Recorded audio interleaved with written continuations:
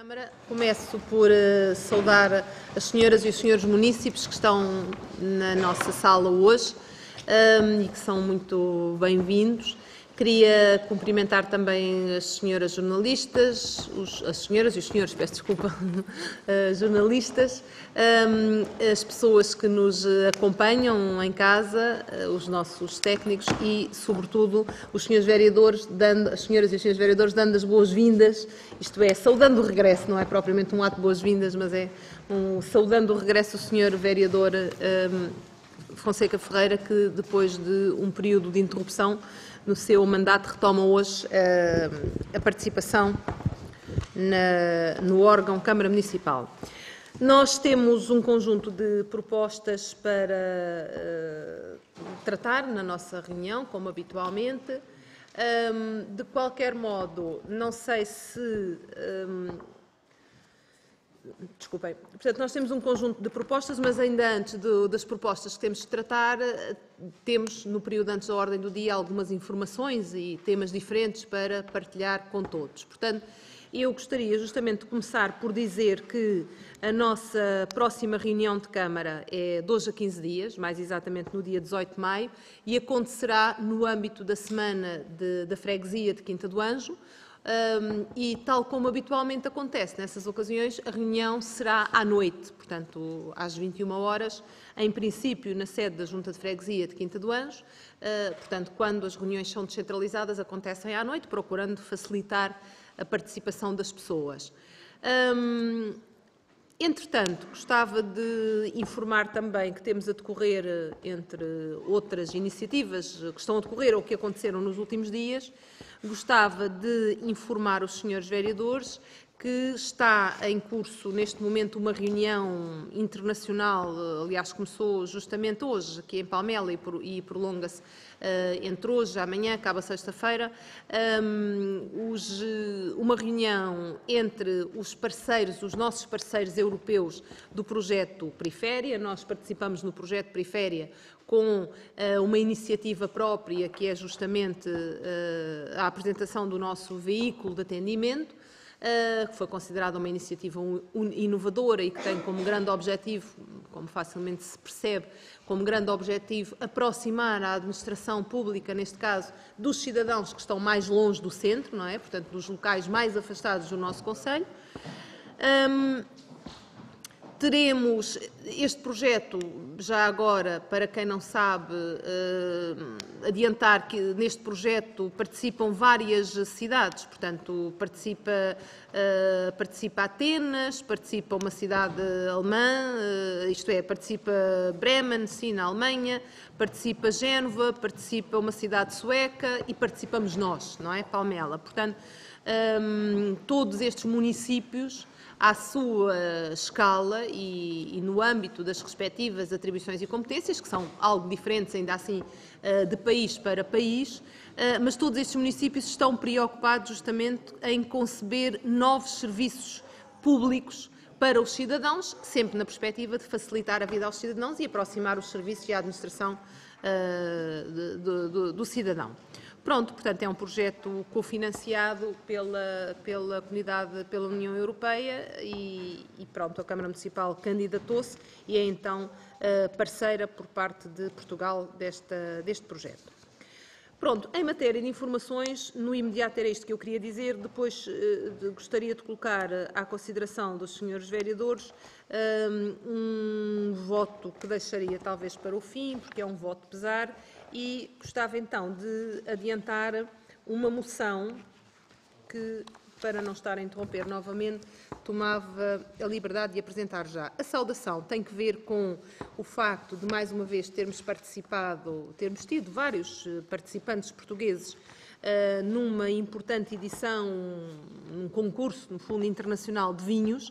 Neste caso, neste caso é, o, é, é um dos mais importantes concursos internacionais uh, no setor e para dizer que os vinhos da Península de Setúbal conquistaram 15 das 82 medalhas que Portugal obteve na, nesta edição, nesta 35ª edição do Challenge Internacional eh, do Vinho, que aconteceu em Bordeaux justamente durante o mês de abril. Portanto, houve 38 países a participar. No, em conjunto apresentaram 5 mil amostras, que foram apreciadas por uh, 8 mil provadores.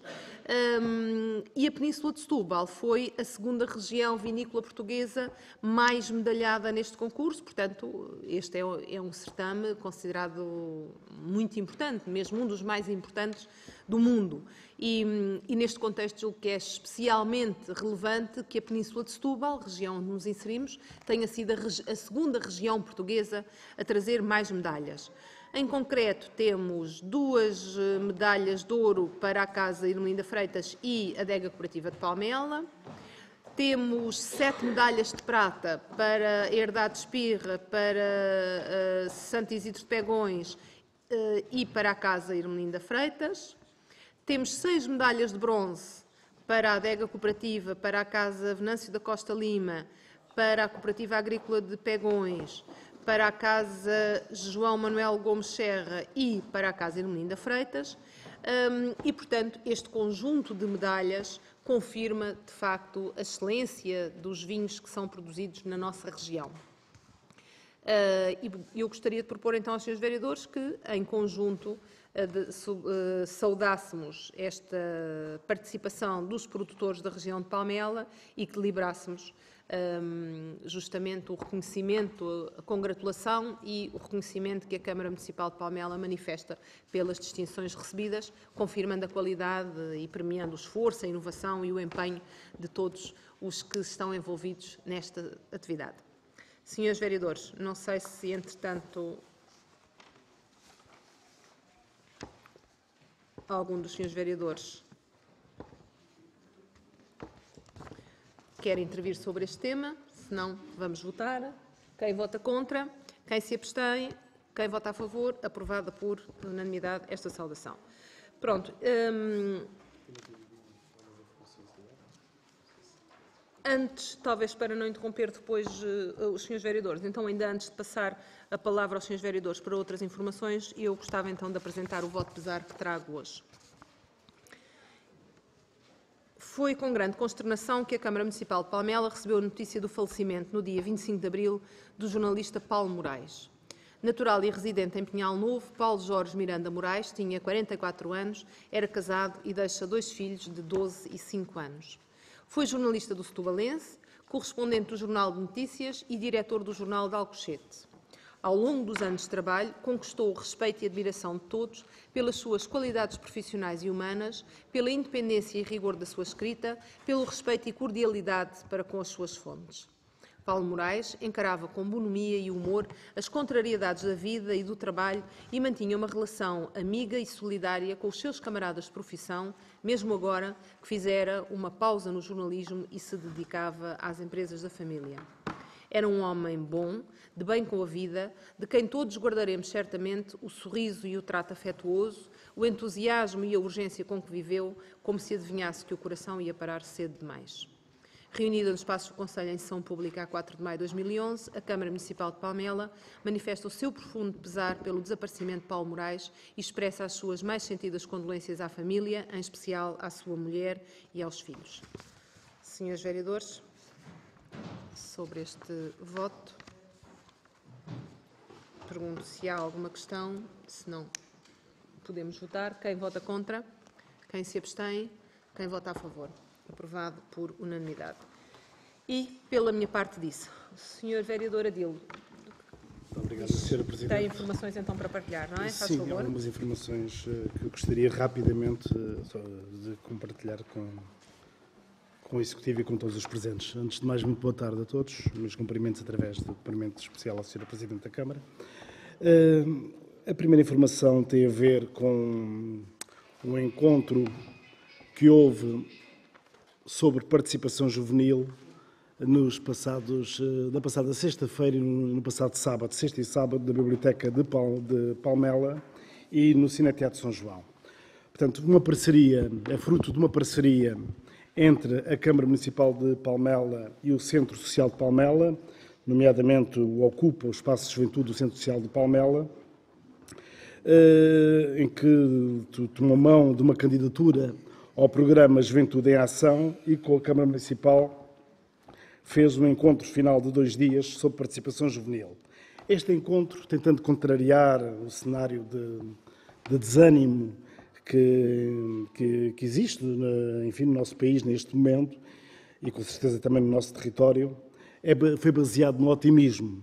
E baseado no otimismo porquê? Porque procurou, na primeira pessoa, na primeira pessoa, portanto, não, são as, não foram as associações a falar de experiências, não foram teóricos ou académicos a falarem de experiências, foram jovens a falarem das suas próprias experiências, das suas próprias experiências, procurou procurar identificar, eh, eh, apresentar e disseminar essas, essas experiências, essas boas práticas, trabalho juvenil local eh, e mostrar a nós aquilo que estão a fazer.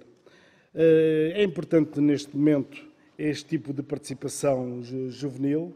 É importante esta partilha de saberes e de experiências, eh, porque poderão multiplicar-se com outros jovens que, entretanto, apareceram. Dizer-vos que estiveram cerca de sete dezenas de jovens, e alguns muito jovens até, nesta, nesta experiência, incluindo, incluindo escolas. Incluindo escolas. Portanto, eh, eh, foi muito importante. Poderia dizer que, que houve experiências de, do Grupo 40, houve experiências do Grupo do, das, das Cravas do Sagrado Coração de Jesus, houve experiências da educação ambiental de, de, de, jovens de Salta Fronteiras, uh, houve experiências do Março a partir, houve experiências do OPA+, uh, enfim, uh, os jovens voluntários europeus que tiveram, estiveram a participar no Março a partir também tiveram a oportunidade de, de partilhar a sua experiência connosco. Portanto, foram dois dias, foram dois dias muito interessantes para eles, que culminou naturalmente também num encontro multicultural de danças e de um jantar que eles promoveram, em que eh, também aproveitaram para, para conviver. Uma outra informação eh, tem a ver com a realização no, no, nos passados dias 18 a 21 de, de abril do 15º Ori Jovem.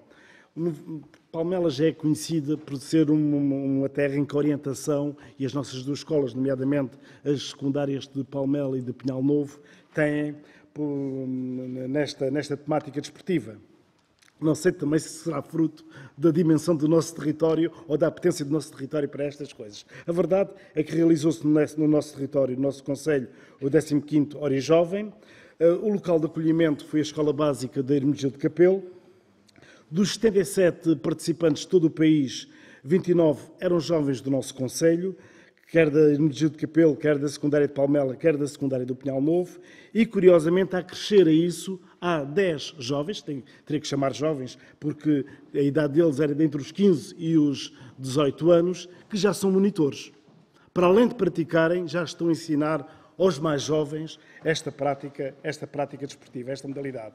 Portanto, como sabem, de vez em quando trazemos aqui uh, saudações pelos êxitos dos nossos jovens nesta modalidade. É, ela é crescente, quer em termos quantitativos, quer em termos qualitativos. Há aqui um grande contributo, e realce, há aqui um grande contributo dos professores destas escolas, pela dinamização, realce que nunca, nunca desarmaram com os poucos recursos que tinham, sempre, sempre conseguiram fazer muito com estes jovens e o que acontece depois é que há resultados, quer a nível escolar, quer a nível federativo, que devemos salientar.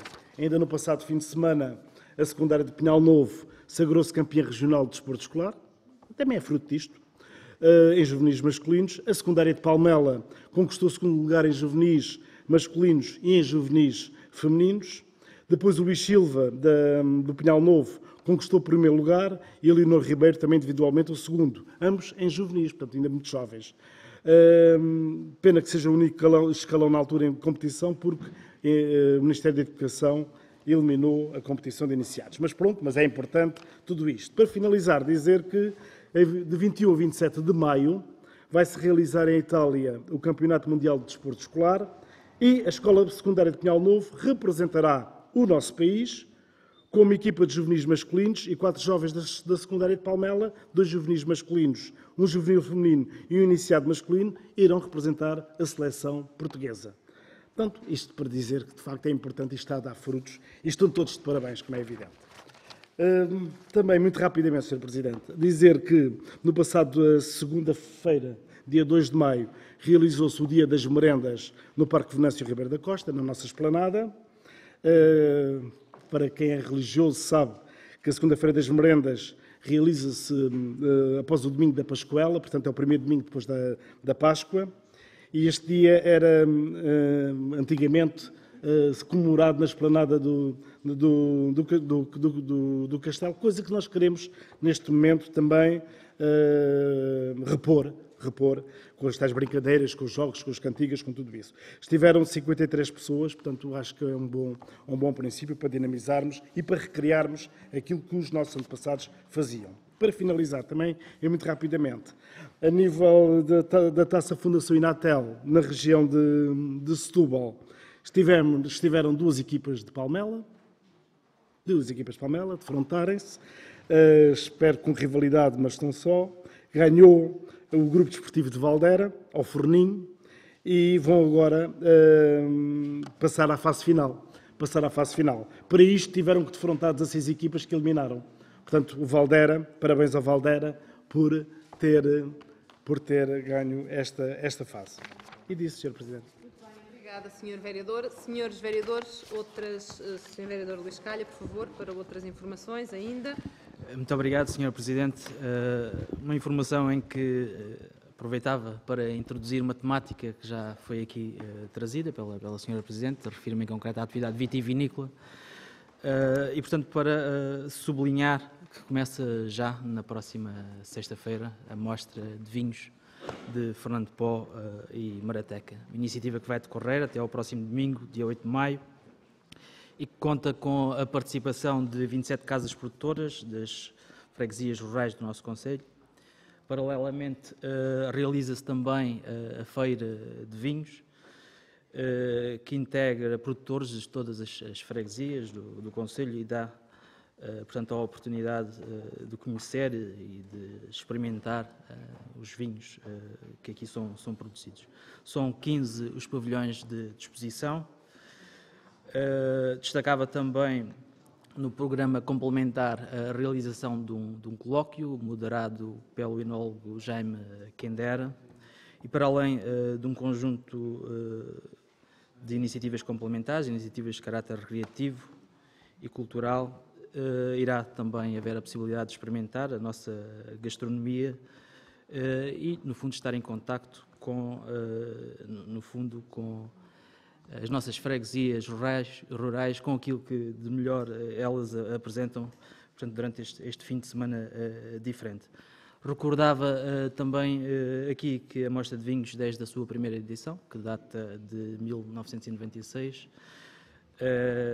teve uma evolução inegável, portanto, os vinhos que aqui eram produzidos eram vendidos a granel e hoje praticamente a totalidade dos vinhos que são produzidos nestas duas freguesias uh, foram substituídos pelo, pelo engarrafamento praticamente na totalidade do, do produto que aqui é uh, produzido. As empresas apostaram uh, no desenvolvimento tecnológico, na criação de, de, marcas, que são hoje uma referência nacional e internacional, e que dão também, e naturalmente, um contributo muito importante para o desenvolvimento turístico do nosso Conselho. E, portanto, ficava aqui o convite para uh, uma visita neste próximo fim de semana a Fernando Pó. Disse, Obrigada, Sr. Sr. Vereador. Senhores Vereadores, para outras uh, intervenções, por favor. Senhora Vereadora Natividade, tem a palavra. Muito obrigada, Senhora Presidente.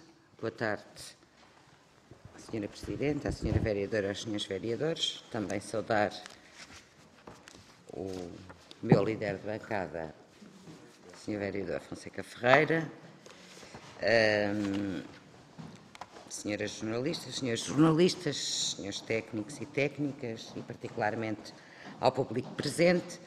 Uh, eu aproveitaria talvez, Senhora Presidente, porque são algumas dúvidas, alguns pedidos e algumas questões para, para uh, apresentar o pacote, se a Senhora Presidente assim o considerasse. Pronto, em primeiro lugar, neste período antes da ordem do dia, queria saudar a aprovação por parte da Assembleia Municipal do protocolo com a LOGC relativa à plataforma logística, ao módulo, primeira fase do módulo 1, não é assim, senhor vereador?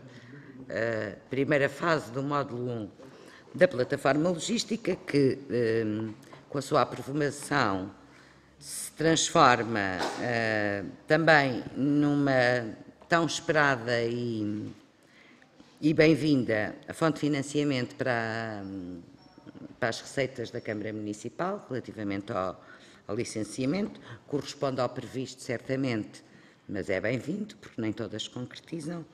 Mas um, esta minha intervenção, muito rapidamente, para além da congratulação pela aprovação, baseava-se num pedido muito simples, que nós, de facto, votámos favoravelmente com a pouca informação que pôde ser disponibilizada na altura, portanto, não discutindo se poderia ter sido mais ou menos, compreendemos que foi um processo uh, difícil, mas para aproveitar, de facto, para solicitar uh, aquilo que puder ser disponibilizado em termos de elementos que permitam conhecer melhor alguns pormenores, nomeadamente, em primeiro lugar, eh, os que foram suscetíveis desta aprovação, que constavam do, do anexo 1 e que são objeto do protocolo, para que eh, pudéssemos partilhar, não digo exatamente o mesmo nível de, de informação, mas eh,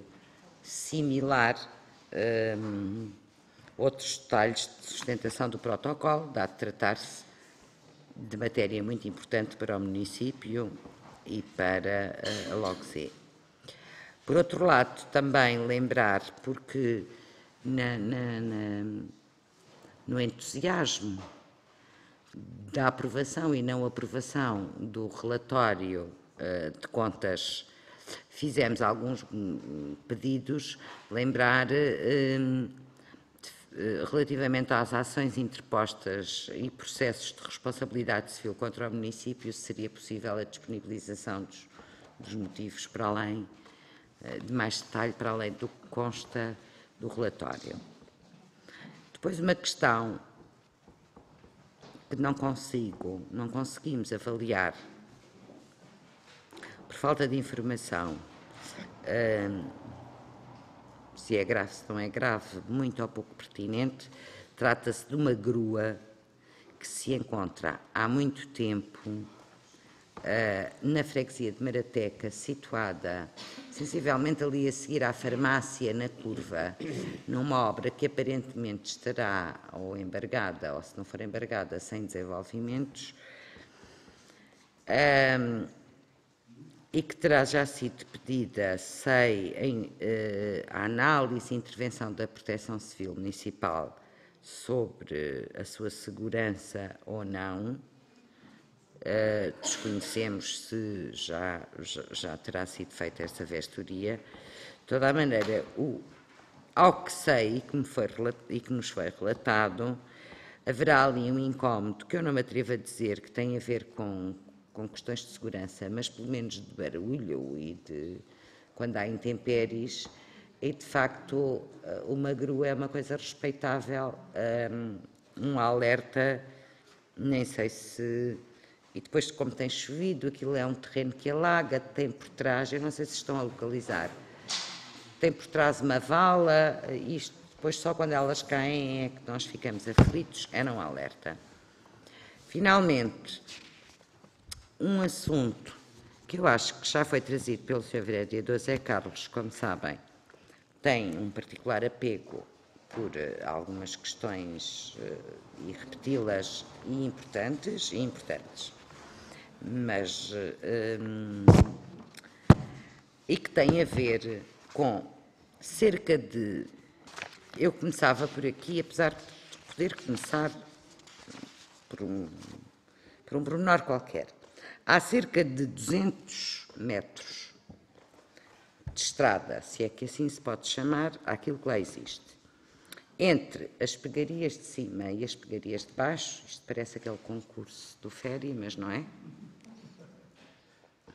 Mas há 200 metros que aparentemente já pertenceram e já foram da responsabilidade da Câmara, pelo menos quem lá mora há 18, há 15, há 20, há 20 e tal anos, assim o testemunha, que de um momento para o outro, não é bem de um momento para o outro, mas desde há uns dois, três anos para cá, serão território de ninguém.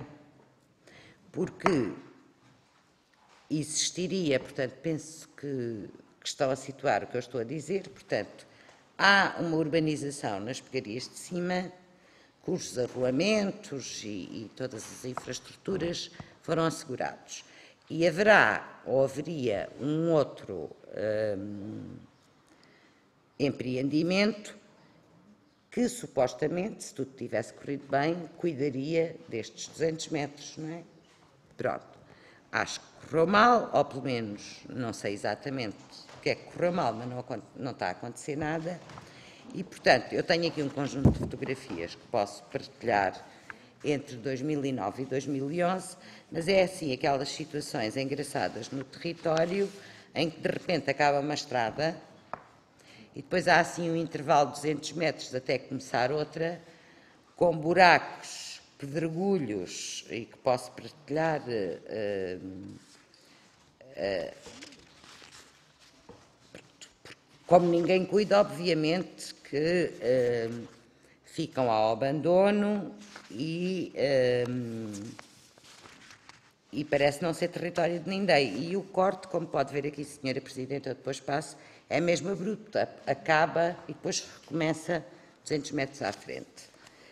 Bom, mesmo reconhecendo, e até há sinais inclusivamente, de que o promotor do empreendimento, ou que faliu, ou que não vai continuar, ainda fez alguma coisinha, há aqui uns sinais, mas que hum, nada tem acontecido. Bom, isto tudo para dizer que trata-se de 200 metros de estrada entre uma coisa e outra. Uh, havia um empreiteiro que teria a responsabilidade de realizar as infraestruturas de urbanização, que desapareceu por motivos vários e até acho que, segundo a informação de uma ficha que tenho, o bem executou o bem, que eu nem sequer sei qual era o bem. A rua anteriormente a estas duas hum, hum, urbanizações, a rua era da Câmara, ou seja, para quem lá vive há 20 e tal anos, aquela rua era da Câmara e era tratada para a Câmara. Portanto, haverá uma certa dificuldade em não compreender agora de quem é. Primeiro ponto. Depois, há de facto uma carta dos moradores que terá chegado ao conhecimento da Senhora Presidente em fevereiro de 2010 e eu acho que quando há abaixo assinados e cartas, aliás, acho que achamos todos, pelo menos têm direito à resposta para esclarecimento. Olha, há aí 30 metros que não sei quê, mais 50 que não sei quantos, mas não sabem, está no vazio. e neste momento já há sinais de atos de vandalismo relativamente à tal urbanização que foi abandonada, de tampas que desaparecem e tudo isso. Bom, mas não, eh, isso são os processos normais. Agora, a grande questão é, será que 200 metros de estrada numa urbanização em que as pegarias de cima e parte das pegarias de baixo até estão bem servidas. Será que não há propriedade destes 200 metros, que não é possível fazer nada? Que de repente entramos ali noutro, noutro mundo, que é o mundo dos buracos uh, e do abandono. Uh, não sei se nestes casos não era possível fazer algo mais, nomeadamente responder aos moradores. Mais questões? São estas. Obrigada. Não sei se o vereador Fonseca Ferreira. Sim, juntávamos para tentar. Faz favor, com certeza. Senhora vereadora. Desculpa.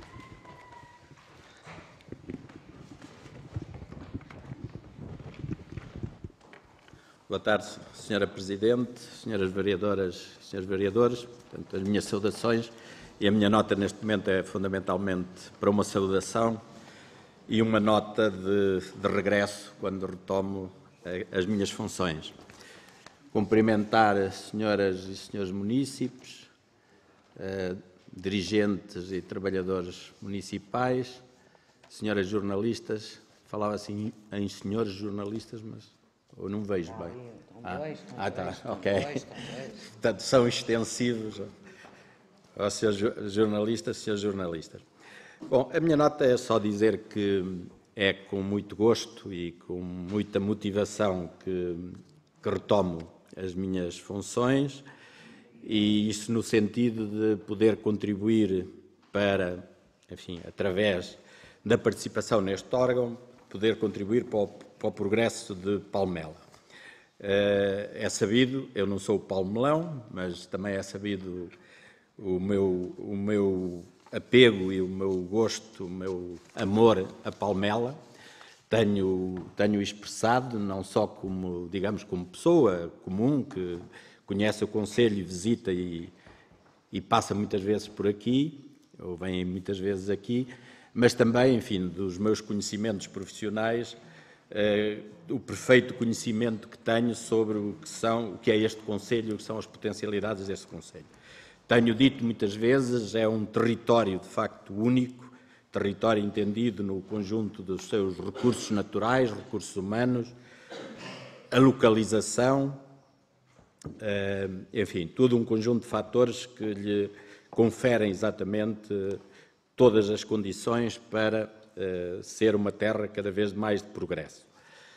Eh, para isso, eu, nos no cerca de um ano, um ano que estive já nestas funções, julgo que fui sempre muito sincero e muito claro eh, relativamente àquilo que era a vontade de contribuir para o bom funcionamento e para o melhor funcionamento eh, da Câmara Municipal, no sentido de os melhores resultados para o Conselho.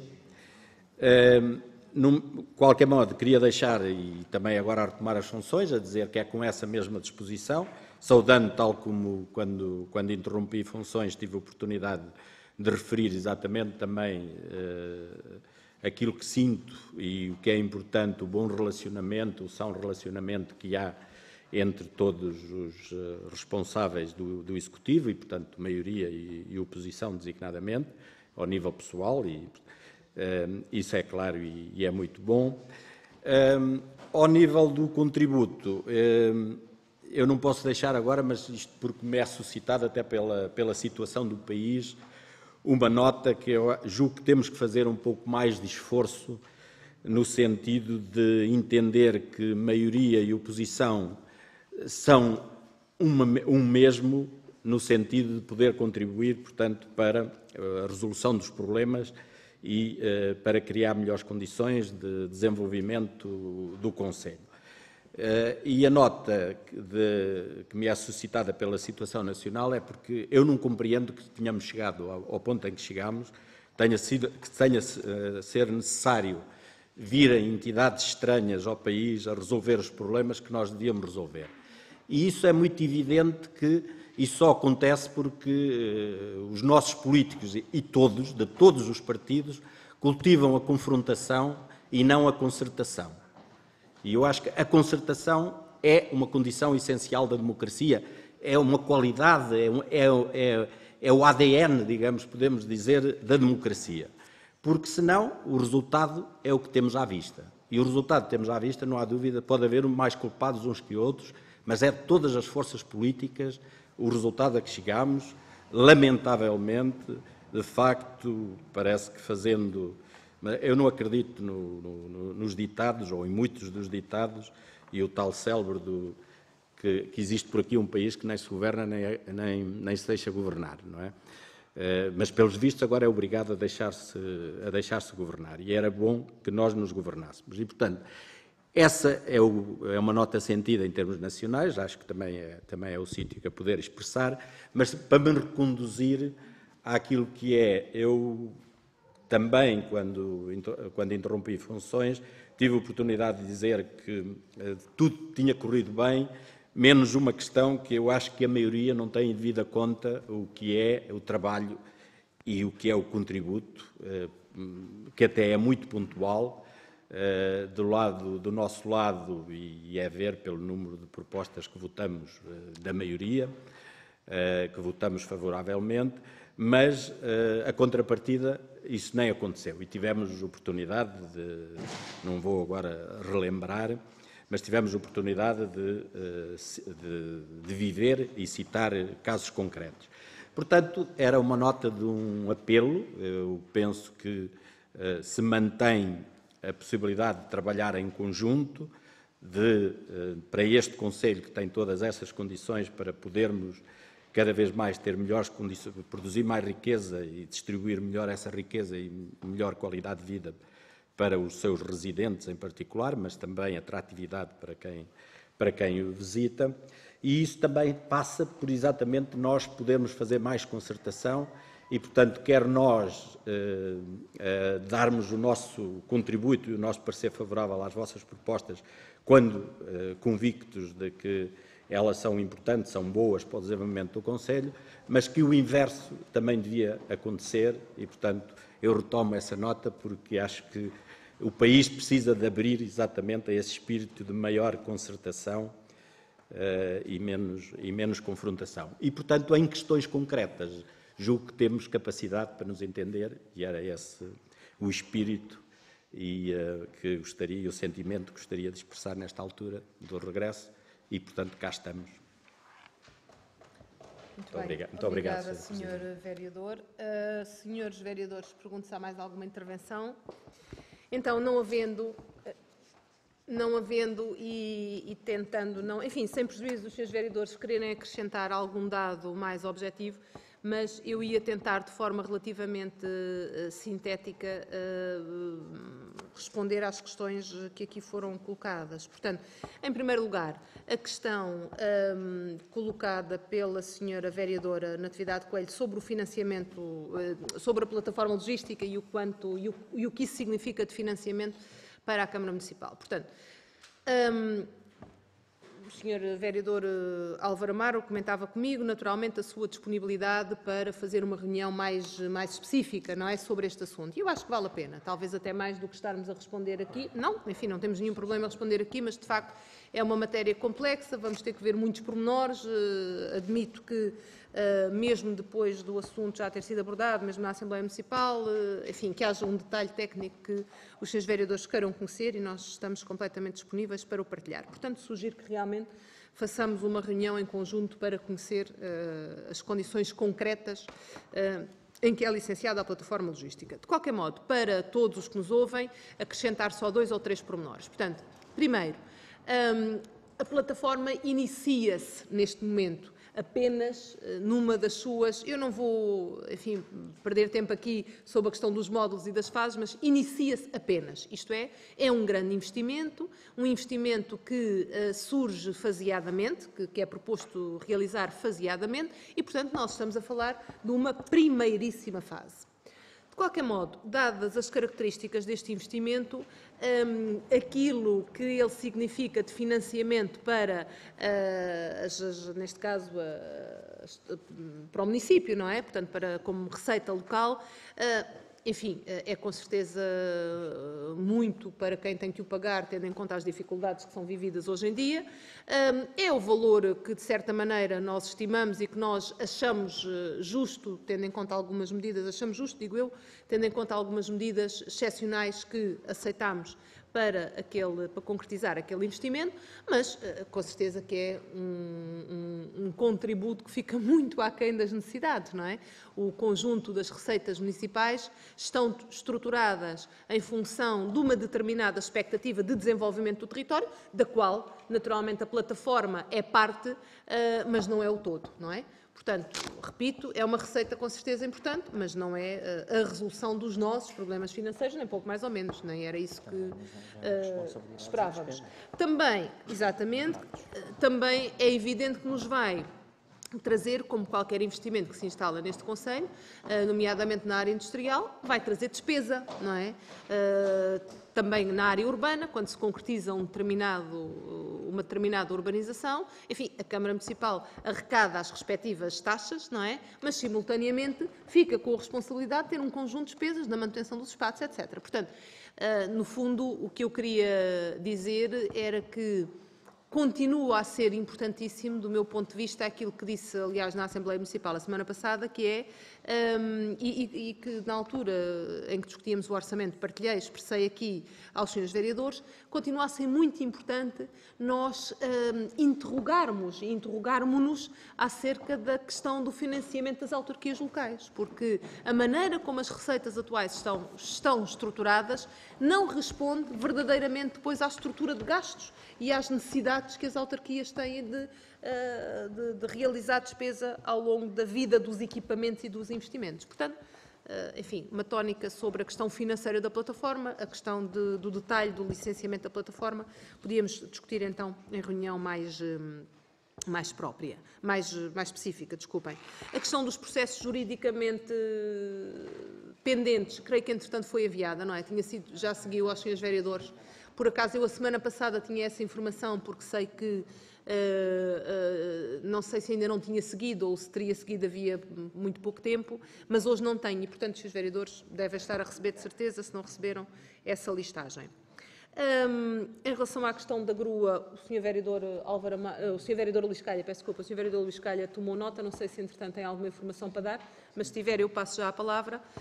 Um, sobre a questão de, de pegarias. Bem, eu aproveito para. Uh, penso que os senhores, eh, alguns já, já nos conhecemos há muitos anos, não sei, se calhar não conhecem bem o senhor vereador do urbanismo e das infraestruturas e, portanto, eu gostaria que, naturalmente, com o senhor vereador Álvaro Amaro e com os nossos serviços, os senhores tivessem a oportunidade de colocar em detalhe as vossas preocupações. Portanto, penso que conhecerão na generalidade o que se passa ali na zona, isto é, de facto, aquele pedaço, não é, que, como a senhora vereadora disse, de, de, estava um pouco transformado em território de ninguém, resulta justamente da da, da, da, convivência uh, de uma zona já urbanizada e devidamente recepcionada pela Câmara, onde a Câmara intervém, e uma outra zona que é fruto da intervenção de uma urbanização que, entretanto, não se desenvolveu como se esperava até ao final, que é a KPRR, e, eh, enfim, tudo tivesse acontecido como se esperava, o normal era que a Câmara, eh, entretanto, recebesse aquelas infraestruturas e as conservasse. Ainda assim, ehm, eu sei que a Câmara, embora não tendo ainda a responsabilidade de as, de as receber, porque não estavam em condições eh, de serem recepcionadas, mas eu sei que a Câmara vai fazendo alguma manutenção. Acredito que não seja a manutenção necessária e acredito, sobretudo, que sempre que estamos em épocas de chuvas, fique pior. Mas, sobretudo, fica à disponibilidade do Sr. Vereador Álvaro Amaro, que tem a responsabilidade, por um lado, do urbanismo e que vos pode informar acerca do processo de urbanização, e, por outro lado, da gestão das infraestruturas, eh, para reunir com os senhores e abordar concretamente o problema de, de pegarias. Um, ah, eu, entretanto, aproveito para pedir desculpa, enfim, se de facto não houve uma resposta da nossa parte. Eh, é possível que, eh, confesso que não me lembro, isto é, não, não a verifiquei, quer dizer, não, Uh, vou ver se nós não respondemos e devíamos ter respondido, sem dúvida, mas eu acho que a melhor resposta é esta, é os senhores poderem ter uma abordagem direta, neste caso com os nossos, com o senhor vereador responsável e os nossos responsáveis uh, técnicos, está bem? Pronto, mas de qualquer modo fica o meu pedido de desculpas por não termos uh, informado ou reagido atempadamente. Depois, um, ah, eh, naturalmente agradeço as palavras do Sr. Vereador Fonseca Ferreira, claro, e, hum, e, quero expressar e partilhar a ideia de que também, eh, também nós estamos convencidos, aliás, eu na, última, na nossa última reunião de Câmara, quando, eh, de certa maneira, fazia as despedidas não é, do Sr. Vereador José Carlos Sousa, dizia exatamente isto, quer dizer, parece muito importante uh, naquele caso era a participação em concreto, não é, do Sr. Vereador José Carlos de Sousa, um, contribuía indiscutivelmente para qualificar a nossa intervenção, a intervenção da Câmara Municipal no seu todo, com as questões colocadas, com a necessidade, com o levantamento, enfim, de, de, de problemas que provavelmente uh, nem sempre todos nos conseguimos aperceber, com o, o rigor com que, nos, uh, com que somos interpelados e temos que trazer as informações. Eu acho tudo isto o próprio, a própria diversidade de opiniões, que é eh, naturalmente um, que faz parte integrante da democracia, não é? A diversidade de opiniões contribui ela própria para o enriquecimento do debate, para o esclarecimento e para a construção de ideias, nomeadamente por parte de quem nos ouve, não é? Muitas vezes, tendo apenas uma visão dos problemas, eh, pode ser influenciado. Se tiver visões diferentes, bem, tem a oportunidade de juntar elementos e construir a sua própria visão. Portanto, eu quero dizer ao Sr. Vereador Fonseca Ferreira que é assim que entendo o papel das maiorias e das minorias, uh, aproveito sempre para repetir isto, razão pela qual acho que é importante mesmo para quem governa em minoria, uh, é importante a presença, a, a, participação plural, ou seja, a presença de mais do que um partido nos executivos. E, e, e, e, nós temos defendido isso politicamente em todos os momentos. Um, e, portanto, queria dizer ao Sr. Vereador que é isso que vamos continuar a fazer uh, daqui para a frente na Câmara de Palmela. Aproveito a nota já temos construído, e mesmo agora na ausência do Sr. Vereador, houve mais do que um caso de moções que nós partilhamos com as propostas, isto é, não só construímos em conjunto e aprovámos por unanimidade, como construímos na própria sessão, aproveitando a proposta do Partido Socialista. Portanto, não temos nenhum tipo de, um, quer dizer, de preconceito, de reserva relativamente uh, a essa questão. Antes, pelo contrário, achei até, e posso aproveitar para, não sei se na altura não sei se na altura ficou claro, eu acho que o disse, não tenho a certeza, mas uh, enfatizo, tendo em conta esta, esta expressão que o Sr. Vereador uh, Fonseca Ferreira aqui utilizou, aproveito para dizer que, justamente para evitar até repetição de propostas ou estarmos aqui a perder muito tempo a discutir alguns pormenores, nós, e por iniciativa do Partido Socialista, por exemplo, na última reunião de Câmara, última ou penúltima, nós aprovámos a moção que apresentávamos do 25 de Abril e do 1 de Maio em conjunto, isto é, concertámo-la em primeiro lugar. E, de facto, a iniciativa da concertação até foi do Partido Socialista. A senhora vereadora Natividade propôs-nos que, bem, eh, nós vamos apresentar uma moção, com certeza que os senhores vereadores também apresentam, portanto, eh, se quiserem concertar, nós estamos disponíveis para isso. E fizemos e, portanto, acho que é um bom exemplo da democracia e dos, das opiniões plurais também, não é? Da pluralidade de opiniões sai uma opinião naturalmente mais rica e, e se se consertada, melhor ainda. Finalmente, uma notinha sobre a questão também uh, da situação nacional uh, e que neste momento tanto nos preocupa a todos. Eu, enfim, não vou entrar em grande debate sobre este assunto, mas uh, também tenho algumas opiniões sobre as razões pelas quais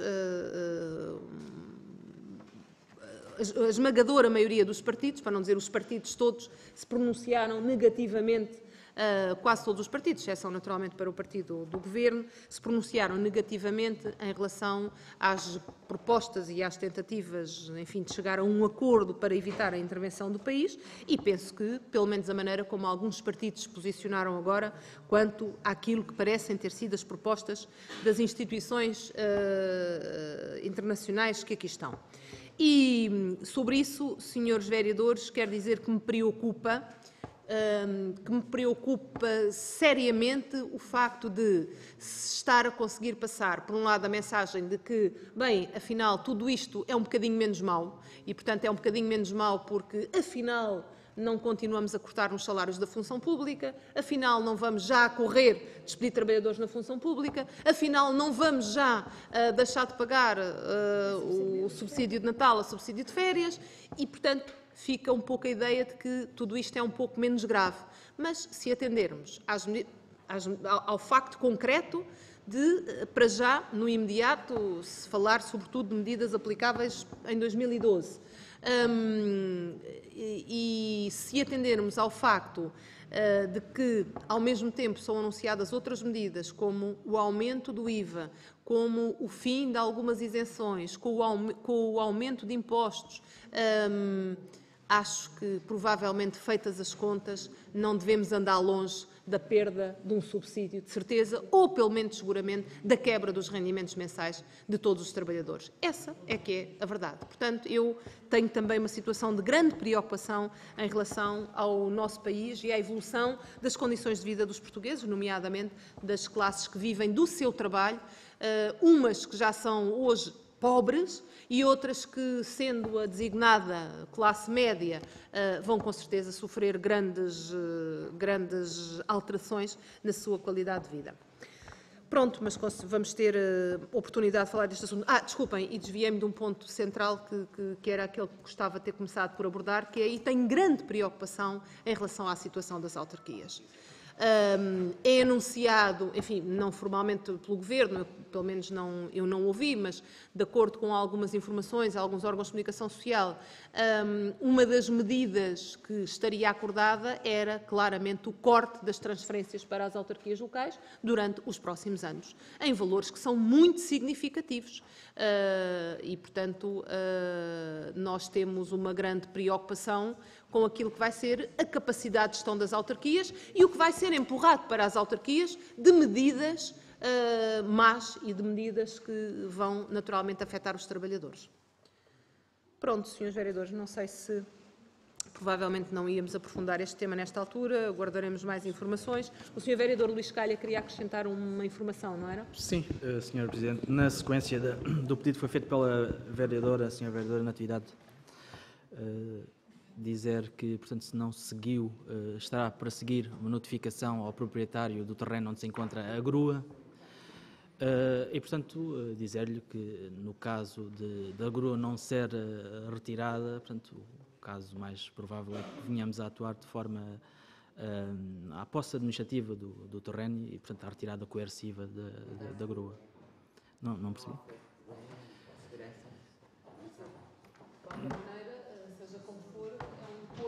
É um, não deve estar naquele local. Não deve estar, não é?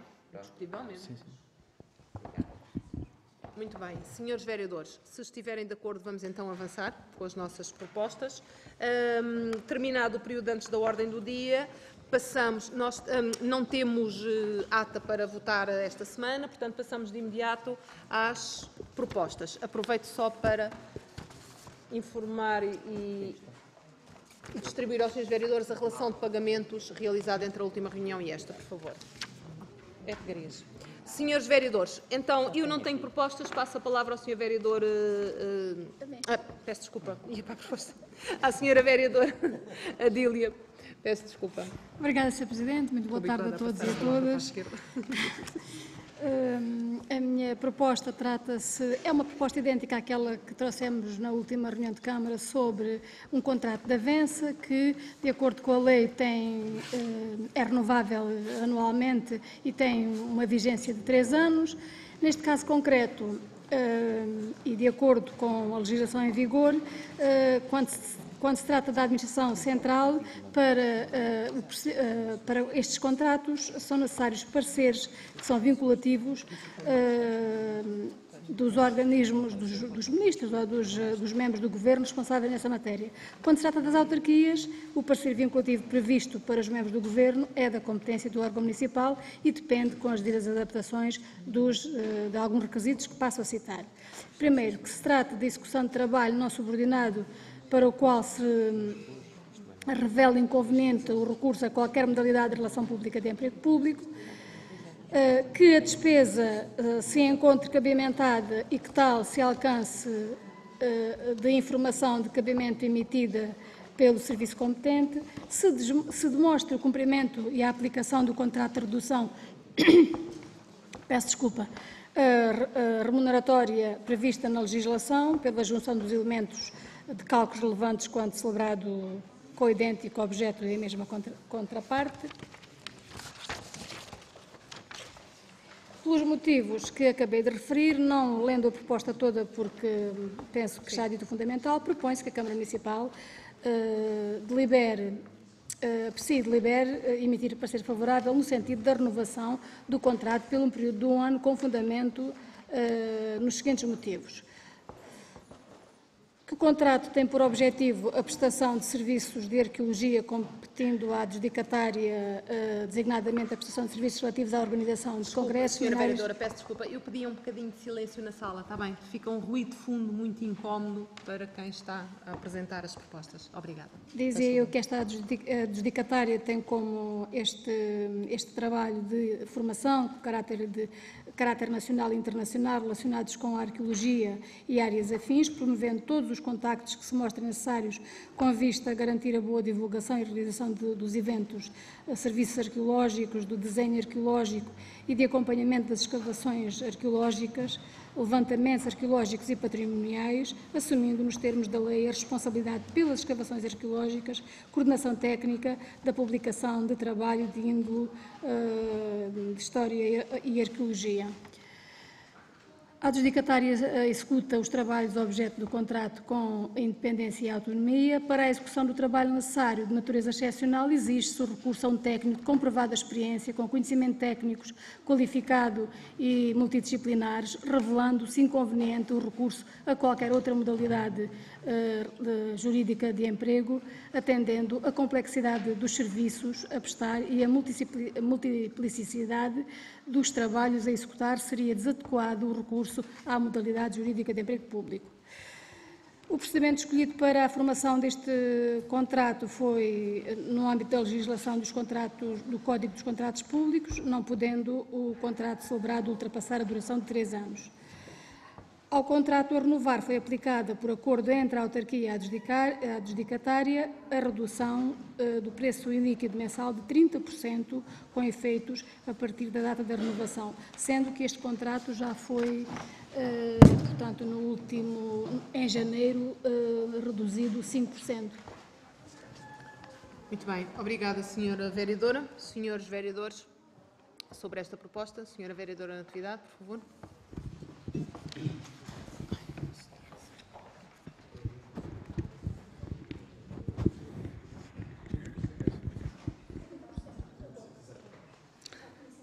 Senhor Presidente, Senhora Vereadora, Senhores Vereadores, em primeiro lugar, eu devo dizer que relativamente ao objeto desta, uh, deste contrato de prestação de serviços, uh, não se nos oferecem quaisquer dúvidas nem sobre a sua necessidade, nem sobre a sua pertinência, nem, sobretudo, uh, sobre a sua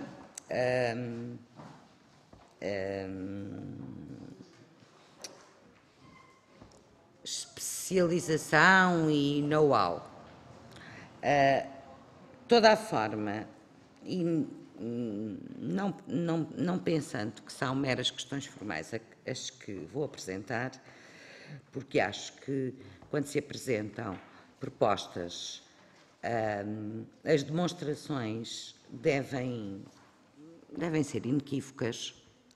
Parece-nos que, uh, em primeiro lugar, relativamente à demonstração do, uh, da inconveniência do recurso a qualquer modalidade de relação jurídica de emprego público, aquilo que no 1.4 se escreve não é de facto uma demonstração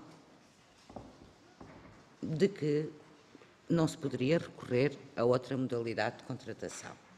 Parece-me que o valor aqui do know-how acumulado, do conhecimento adquirido ao longo dos anos, da especificidade, teriam muito mais importância do que estar a dizer que, como é um serviço muito complexo e uns trabalhos de grande multiplicidade, não pode haver outra relação jurídica de emprego. Então, quer dizer, quem tem, quem é contratado ou faz parte do quadro, não tem capacidade para prestar múltiplos trabalhos e serviços complexos. Parece-me que, de acordo com o Código de Contratos Públicos, não é esta a melhor justificação. Peço muita desculpa, penso que a empresa unipessoal em causa e a pessoa em causa serão as escolhidas de acordo com o Código de Contratos, não é, nem sequer é de acordo com o Código de Contratos Públicos, é de acordo com aquilo que já prestou ao município e há todo o património arqueológico que não, que não é uma justificação. Não há uma demonstração cabal nesta renovação, ou pelo menos neste articulado que aqui aparece, eh, eh, do motivo pelo qual outra relação jurídica de emprego não é conveniente e mais, e uh, os benefícios acrescidos desta e não outra, por um lado. Por outro lado,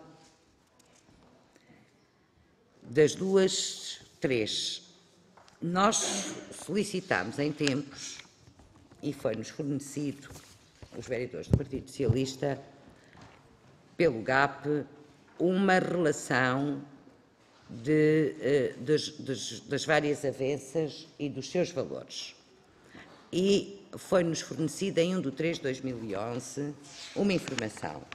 Na informação que nos foi fornecida em 1 de 3 de 2011, para a ICFF unipessoal, temos um valor de 20.515,08, que dará, vezes a dividir por 12, 1.709,59, a que acrescerá o IVA, confirmando com a relação que nos é disponibilizada, um, e tenho aqui a de março, verificamos que, juntando os 1.709,59, que é o resultado da divisão por 12, mais IVA, que agora se situa nos 23%, dará uh, o valor que consta destas folhas.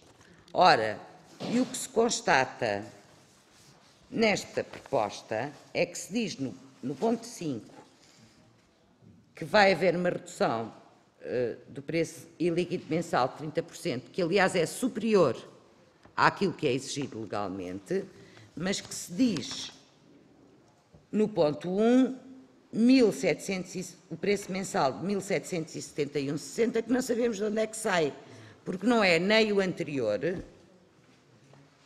não é nem o anterior que vigorava em 2010, nem é o de, do início de 2011, dos três primeiros meses, nem é nem, nem tem 30% reduzidos, nem, nem tem acrescentados. Portanto, admitimos isso. Senhora Presidente e senhores vereadores, admitimos que o documento que nos foi disponibilizado e pelo qual nos regemos, mesmo assim confrontado com este, possa não estar correto, mas é difícil porque este é que são os pagamentos efetivos.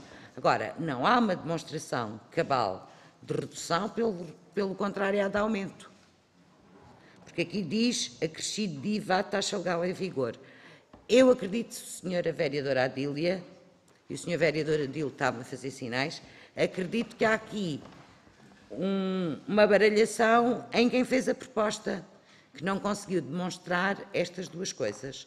E, portanto, se a proposta se mantiver assim, com pesar nosso, abster-nos-emos, porque não vamos votar contra. Se puder ser corrigida para nós nos entendermos, uh, votaremos a favor.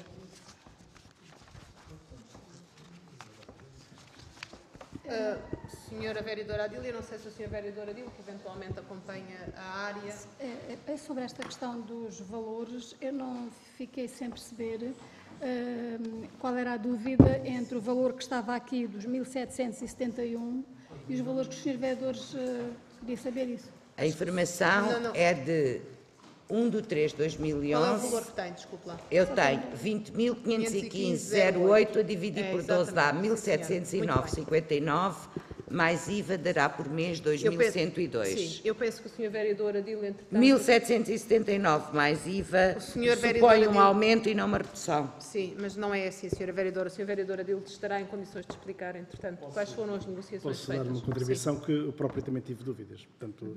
e é exatamente por não estar nesta área, mas saber na prática que número é que uh, seria que lhe poderei explicar.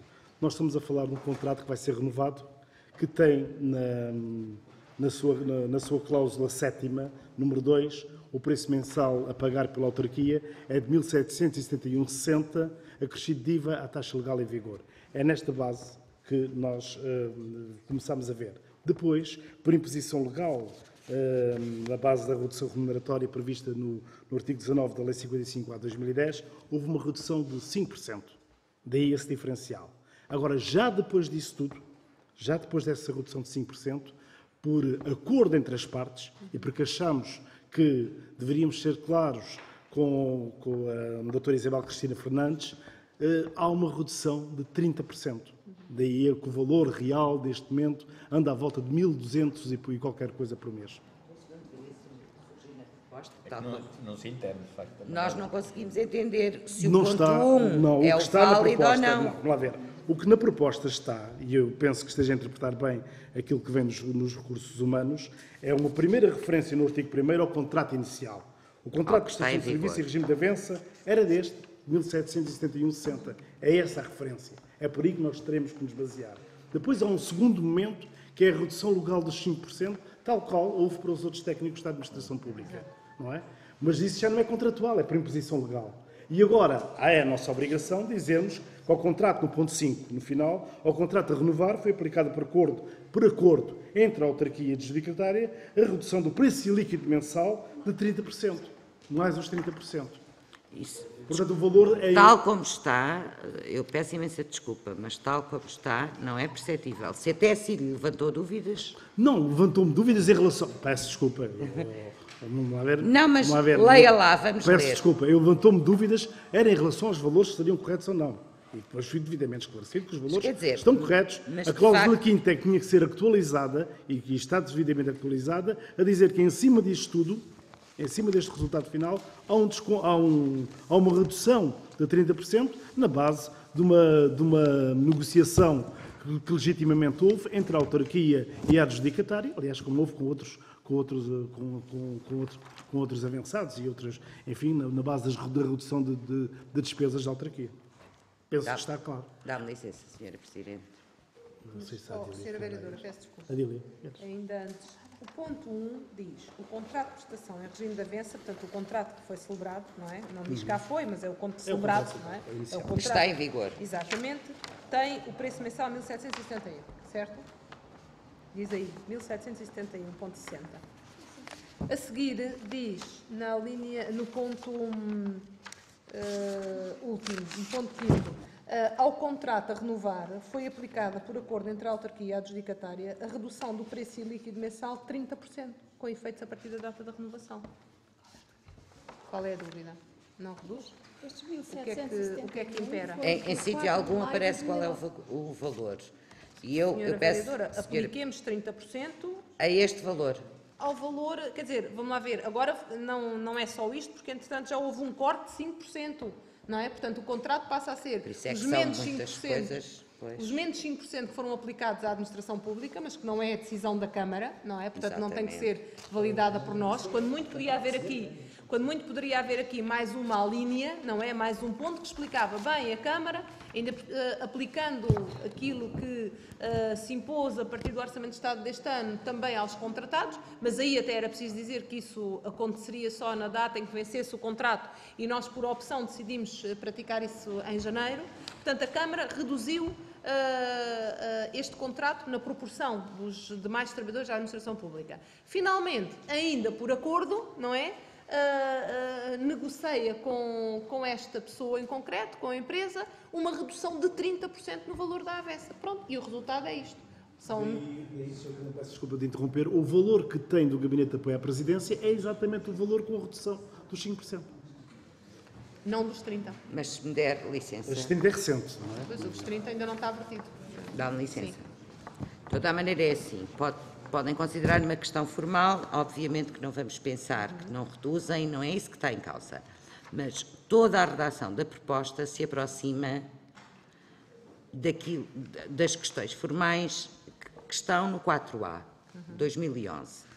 E no 4A é a descrição do contrato e seu objeto, demonstrando não se tratar de trabalho subordinado, bem como a inconveniência do recurso à modalidade de relação jurídica. Portanto, estão os passinhos todos. A determinada altura, demonstração do cumprimento e aplicação da, da redução remuneratória prevista, blá, blá, blá, blá, blá.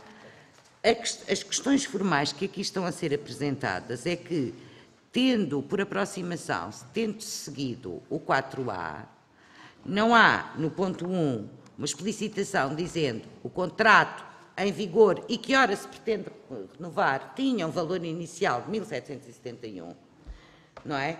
Portanto, isto obrigou-nos a andar a ver quanto é que recebe agora, quanto é que está portanto, naquele trabalho que é o trabalho normal. Portanto, não é feliz o ponto 1 um, e não é feliz o, o 1.4. Um, Está bem, pronto. E eu acho que é muito fácil de corrigir.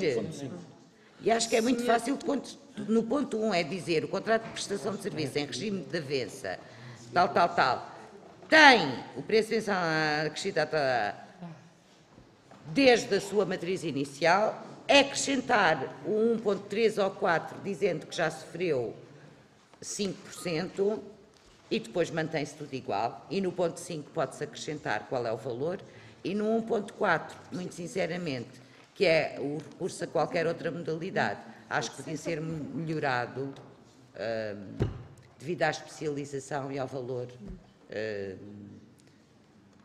especial. Uh, acho que nós achamos que não está devidamente fundamentado, mas defendemos, defendemos esta, esta avença mas de facto não, não é clara, dá trabalho e não é explícita. Sr. Vereador Adil quer acrescentar alguma coisa? Não sei se... Não? Bom, eh, Vereadora? Poderei, poderei tentar, um, uh, ver, uh, pegando na questão da natureza excepcional e da complexidade dos serviços, não, não, não há dúvida que uh, a senhora vereadora tem razão, que nós temos técnicos competentes que estão habituados a trabalhos complexos.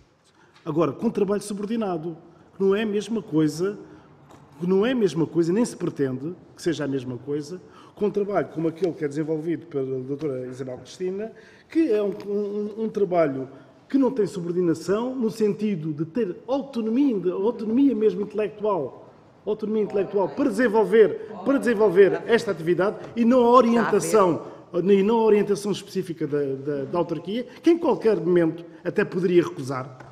Não é o caso, felizmente, mas que em qualquer momento até poderia recusar. É o caso da diferença, por exemplo, entre os nossos juristas e, o, e, o, e os advogados vão à barra do tribunal.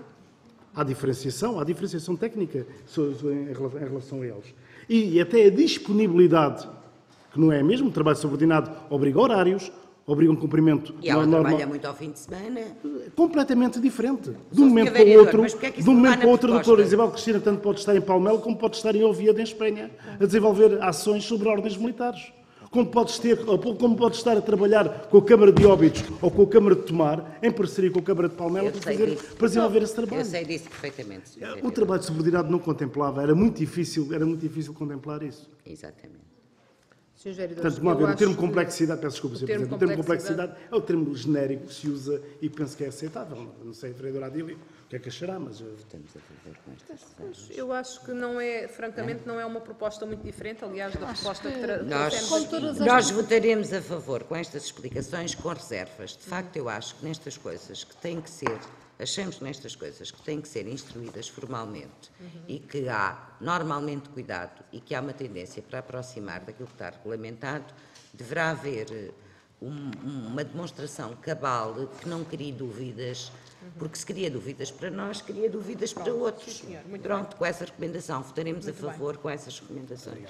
Acho que aceitamos a recomendação. Aceitamos até porque eu, eu estou de acordo com a Sra. Vereadora Natividade. Podia ser feito de outra maneira. Como tudo na vida, qualquer proposta pode ter uma redação assim ou uma redação de outra, um bocadinho ah, diferente. Agora, uh, de facto, uh, acho que não vale a pena voltar a proposta atrás uh, não, para, votaremos para fazer a favor, a redação. Nas, nas renovações de avanças, estas questões fica, fica esta recomendação. Então, senhores vereadores, quem vota contra?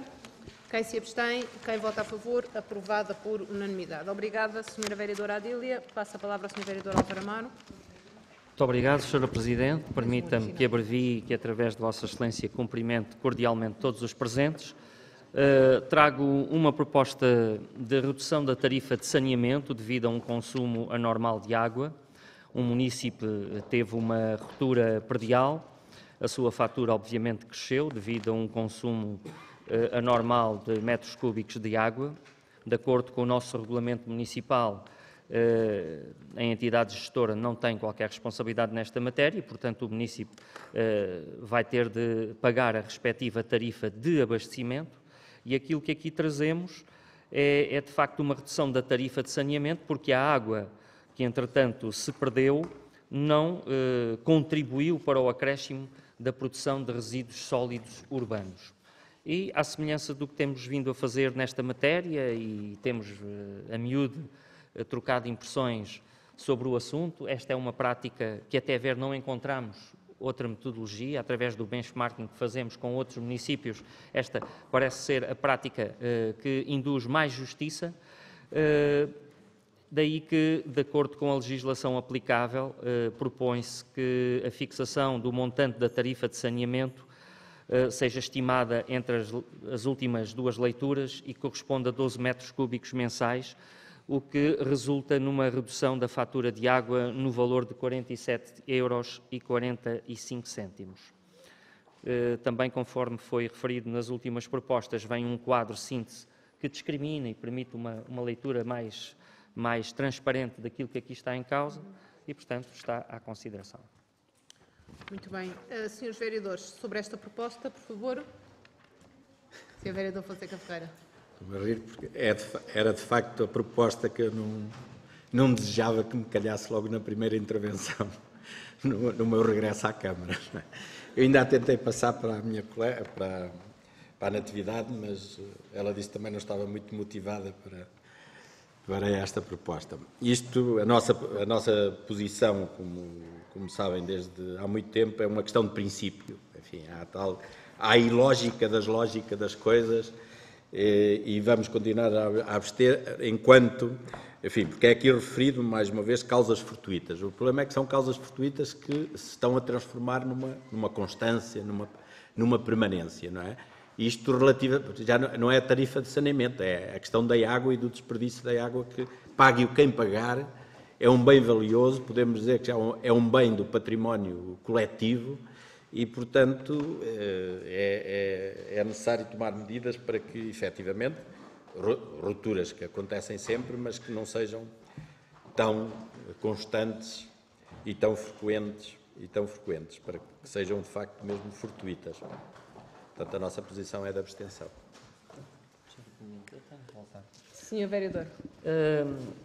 Eu eh, reitero aquilo que disse, nós vamos continuar neste folhetim enquanto também persistirmos nesta nossa forma de gestão uh, tão rigorosa e transparente, uh, trazer mesmo propostas desta natureza à reunião de Câmara. Uh, e permita-me mais uma vez apresentar a nossa argumentação e talvez ajudar a perceber aquilo que está em causa. primeiro, se as causas são ou não fortuitas, o, o fortuito, como o nome indica, é fruto do, do acaso. Agora, nós confirmamos no local, através de fotografia, de prospeção, eh, de faturas de obras realizadas, etc., que houve uma ruptura. Porque se há alguém que fez uma ligação direta ou outra malandrice qualquer, devo dizer-lhes que nós interferimos muitas destes pedidos de redução, quando não se consegue confirmar que efetivamente houve um incidente. Segunda questão, eh, porque às vezes deixa-se passar a ideia que a autarquia é responsável por estas rupturas. Trata-se de uma ruptura da rede perdial. As redes perdiais eh, nem sequer requerem hoje eh, apreciação técnica por parte do município. São aceitos à responsabilidade do técnico autor das redes. E, portanto, é uma questão do domínio privado. A pessoa já teve este azar de desperdiçar água. Ninguém está aqui a uh, beneficiá-lo, nem isentá-lo de nada vai pagar a água que desperdiçou. Agora, nós não conseguimos comprovar a pessoa desperdiçou água, por causa disso produziu mais lixo? Não, não produziu. Portanto, o que nós estamos a propor é que a tarifa do lixo, e assim toda a gente nos entende, eh, não seja aplicada por este desvio àquilo que é normal a pessoa eh, produzir em termos de resíduos. Nós temos tentado aprender e não temos problemas nenhums em aprender com outros municípios devo dizer que as práticas que temos recolhido de norte a sul do país são completamente enviesadas e, e nenhuma ainda se aproximou tanto da justeza como que nós consideramos que a nossa prática tem. E, e, e agora, permita-me, não leva mal uh, dizer isto, Sr. Vereador, mas é que não fica bem ao Partido Socialista não, não votar, ou, ou seja, estas propostas não passarem por unanimidade, cai muito mal aos nossos municípios, que já se veem penalizados com, com, com esta infelicidade de terem de pagar porque efetivamente tiveram um azar, passo a expressão, uh, e, eles, e eles não entendem. E muitas vezes não ficam satisfeitos e ainda recorrem aos nossos serviços para reclamar e questionar porque é que isto não foi aprovado por unanimidade. Já agora ficava aqui só esta, esta dimensão uh, para se perceber que, enfim, estamos.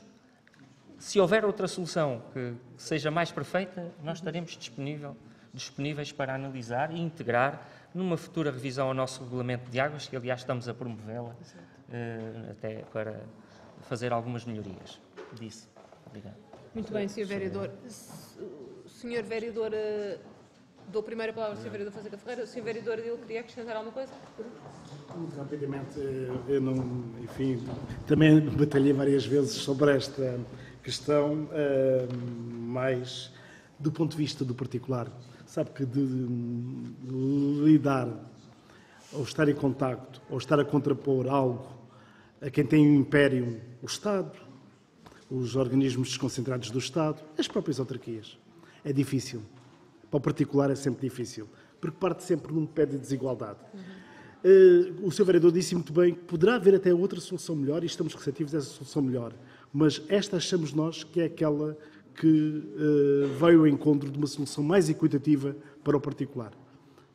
Havendo esta prova que o, que, que o Sr. Vereador está aqui a, a demonstrar que existe, e sendo na rede na rede predial, sendo um assunto da rede predial, portanto, um assunto do fórum da, da, da, própria área do particular, eu não vejo outra solução que não esta, por uma questão de equilíbrio. Uh, senão, penso que é um daqueles exemplos em que o poder, o pequeno poder que o particular poderia ter, sairia completamente uh, desbaratado na sua relação com a autarquia ou com qualquer outro organismo do, do, do género.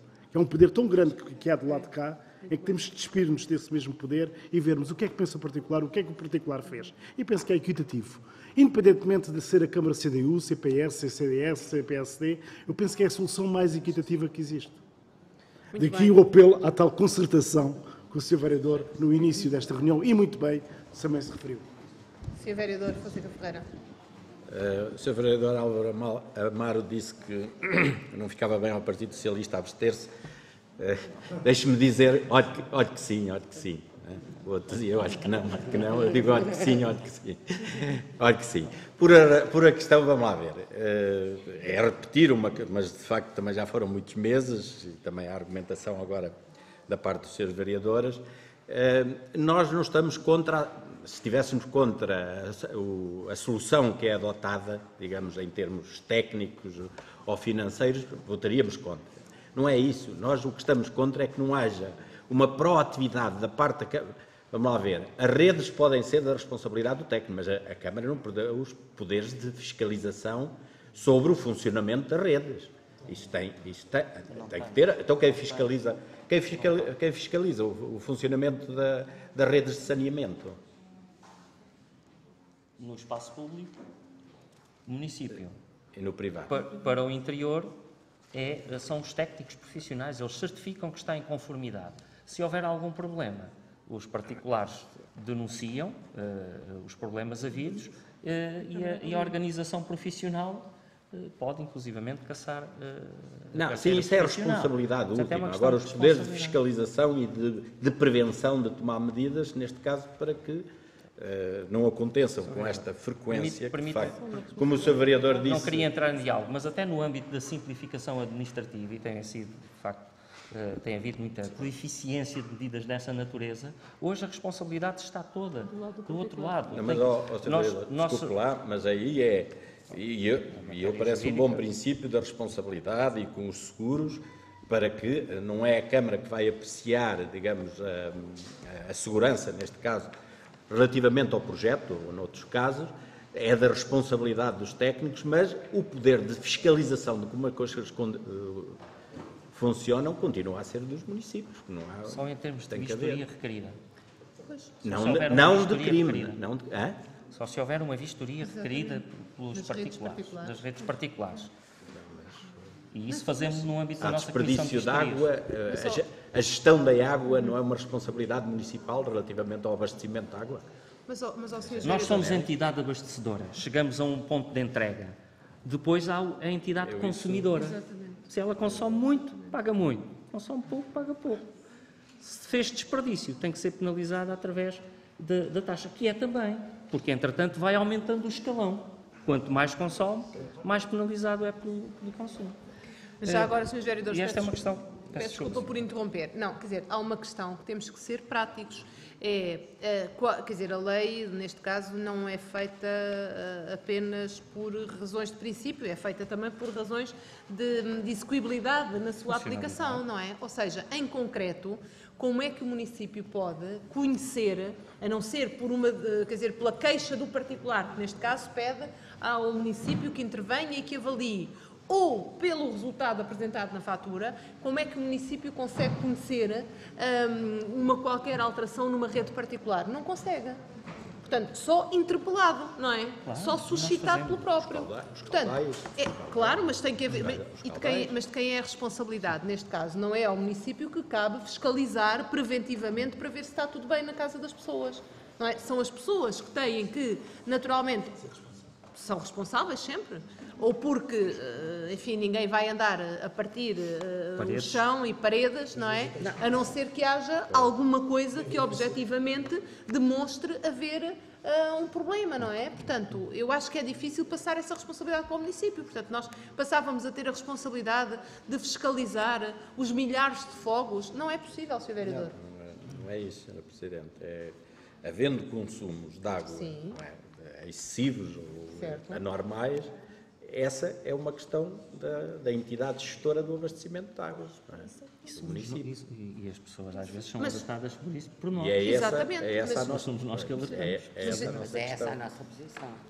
E relativamente à água, que é cada vez mais um bem valioso e podemos dizer de interesse público. isso. Claro, estamos de acordo. Nós estamos de acordo com isso, Sr. Era- Vereador, estamos a reduzir consumos também nas nossas práticas de regas, de, de- de equipamentos municipais, etc. E, e há, felizmente, esta preocupação que é transversal, eh, julgo eu, à generalidade da sociedade hoje, está atenta a, essa problemática. Mas aqui são razões de facto e de direito. Há um, um domínio em, em que nós podemos intervir e há outro domínio que é de responsabilidade de outrem.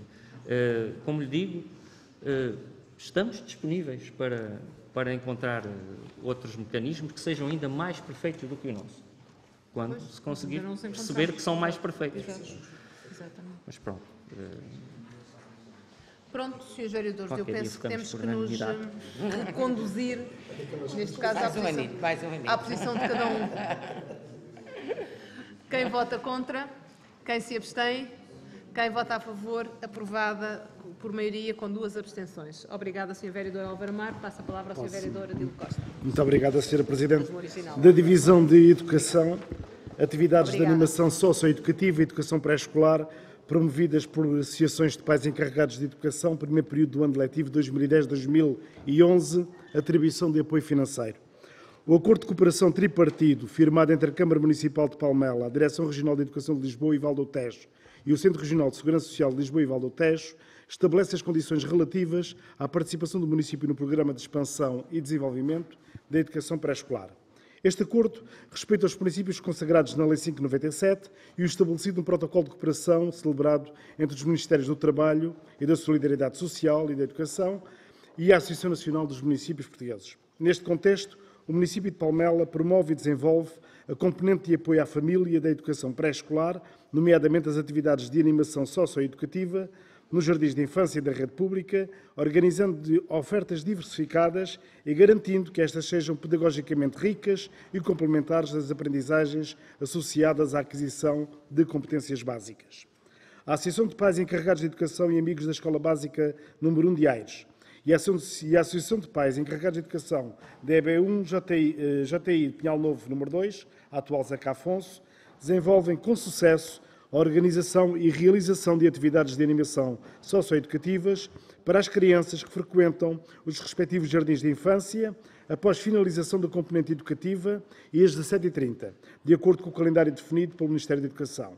Assim, de acordo com os respectivos protocolos estabelecidos entre a Câmara Municipal, o agrupamento de escolas e aquelas associações de pais, é da responsabilidade do município comparticipar financeiramente as atividades de animação socioeducativas através de transferência de verbas em função do número de crianças abrangidas e respeitando os valores fixados pelo Ministério da Educação, de modo a viabilizar o acesso e a frequência de todas as crianças, independentemente do nível socioeconómico das respectivas famílias. No primeiro período do presente ano letivo, frequentaram esta atividade 44 crianças em Aires e 45 na Zeca Afonso, distribuídas por quatro grupos. Face ao exposto e por aplicação legal, propõe-se a atribuição de apoio financeiro no valor global de 8.474,52 euros, o qual se destina a comparticipar as atividades de animação socioeducativa do primeiro período escolar destas associações, sendo 4.237,26 para a Associação de, de Pais de Aires e 4.237,26 também, peço desculpa, para a Associação de Pais de, eh, de Zeca Afonso, da Pinhal Novo número 2. Dia, Sr. Presidente. Obrigada, Sr. Vereador. Senhores Vereadores, Sra. Vereadora Natividade tem a palavra, por favor. Bom, uh, Sra. Presidente, Sr. Vereador Adil, Obviamente que eh, estas são propostas uh, ritualizadas que nem mereceriam, não pela sua importância, mas não, não mereceriam qualquer reparo por parte da bancada do Partido Socialista. A questão aqui era, já fizemos isto, penso que há uma ou duas sessões. Estamos neste momento no terceiro período a fazer as transferências referentes ao primeiro período. Imagino, sei perfeitamente as questões de liquidez com que nos defrontamos, mas não estamos a falar de verbas assim tão significativas e acho que relativamente, entre aspas, a, fornecedores, se é que podemos chamar assim, que haverá uns mais bem posicionados que os outros e imagino que as associações de pais não terão propriamente hum, um estofo e uma solidez um, que lhes permitam no tempo um, um, mas também desconheço, não lhes foi perguntar, não é? Mas uh, penso que o Sr. Vereador conhecerá melhor. Achamos tarde, de facto, uma comparticipação relativa a, ao primeiro período e relativa ainda por cima a compromissos que têm, que resultam de protocolos, ser eh, no terceiro período. Quissá poderei estar a dizer isto e é a própria Administração Central que está a atrasar também nas transferências. Eh, também desconheço. Mas eh, não é, disso, não é, não é sobre isso que me tenho que pronunciar. Desconheço se o ritmo está atrasado ou não. Parece-me que para as associações de pais vir em maio, já em pleno terceiro período, uma proposta relativa ao primeiro período, pelo menos vinha ao primeiro e o segundo, não é? Porque com adiantamentos também não estamos em altura disso. Mas, obviamente, que votaremos a favor. Uh, este processo é um processo complexo. Nós temos correntemente estarmos a fazer dessa maneira. Em relação ao segundo período, tem, tem a ver mais com a complexidade do próprio processo, tem que ser aferido como, como é natural. Aliás, como depois consta Mas iremos votar a favor. Muito obrigado. Muito bem, obrigada, Srs. Vereadores. Vamos votar então. Quem vota contra?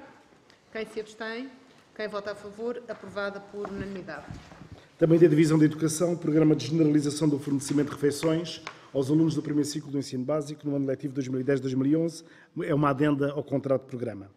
No ano letivo 2005-2006 foi celebrado contrato de programa entre a Direção Regional de Educação de Lisboa e Val do Tejo e o município de Palmela, relativo ao financiamento do programa de generalização do fornecimento de refeições escolares aos alunos do primeiro ciclo do ensino básico.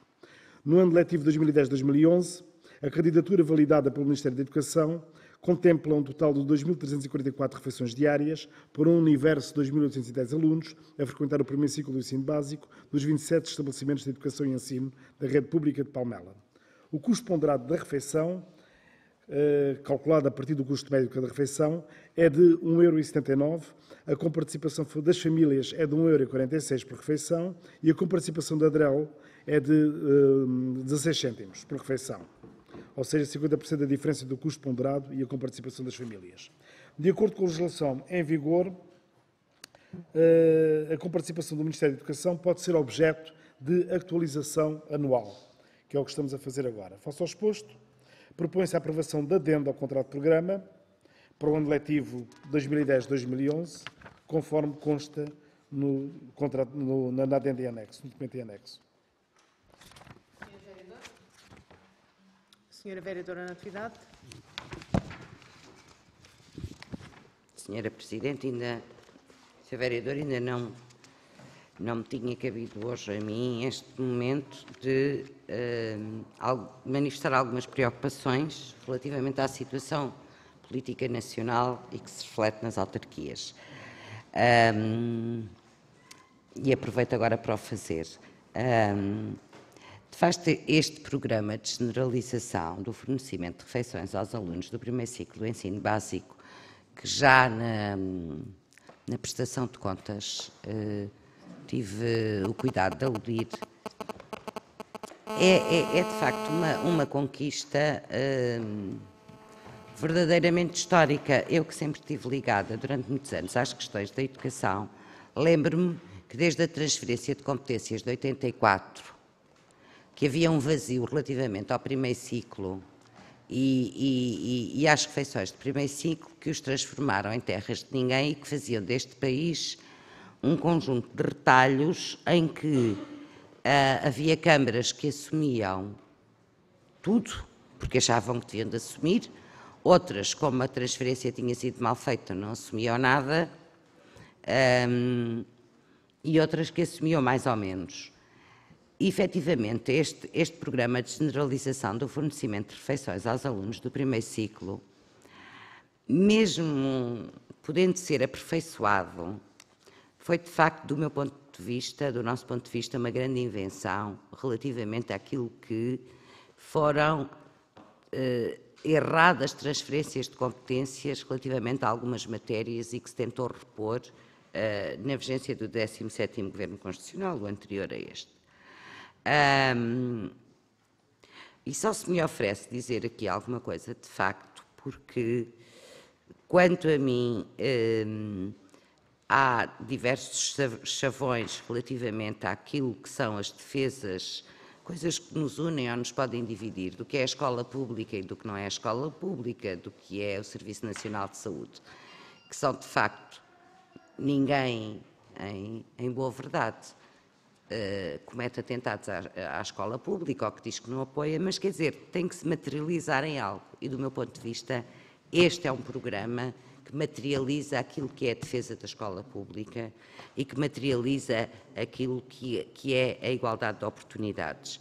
E o que eu lhe pergunto, Sr. Vereador, é se esta adenda ao contrato, se esta adenda ao contrato constitui um avanço ou um retrocesso ou se é uma mera reposição anual uh, relativamente a, a, a, este, a este programa. Quer dizer, estive a fazer as contas. Eu sei que é a diferença de 50% ponderado entre a coparticipação das famílias, mas, mas uh, há uma adenda porquê? Não é, só, é pelo valor, é pelo número de alunos, é porquê? Não, acaba por ter em conta o número de o valor global depois do acerto, a adenda chamemos-lhe um acerto. É? Mas este valor de 0,33, que é o diferencial, sendo 0,16, manteve-se, foi aumentado ou foi diminuído, não sabe? Não, acaba por ser aumentado. Um aumentado, acerto, pronto. Aumentado. Era só isto. E esta adenda é exatamente...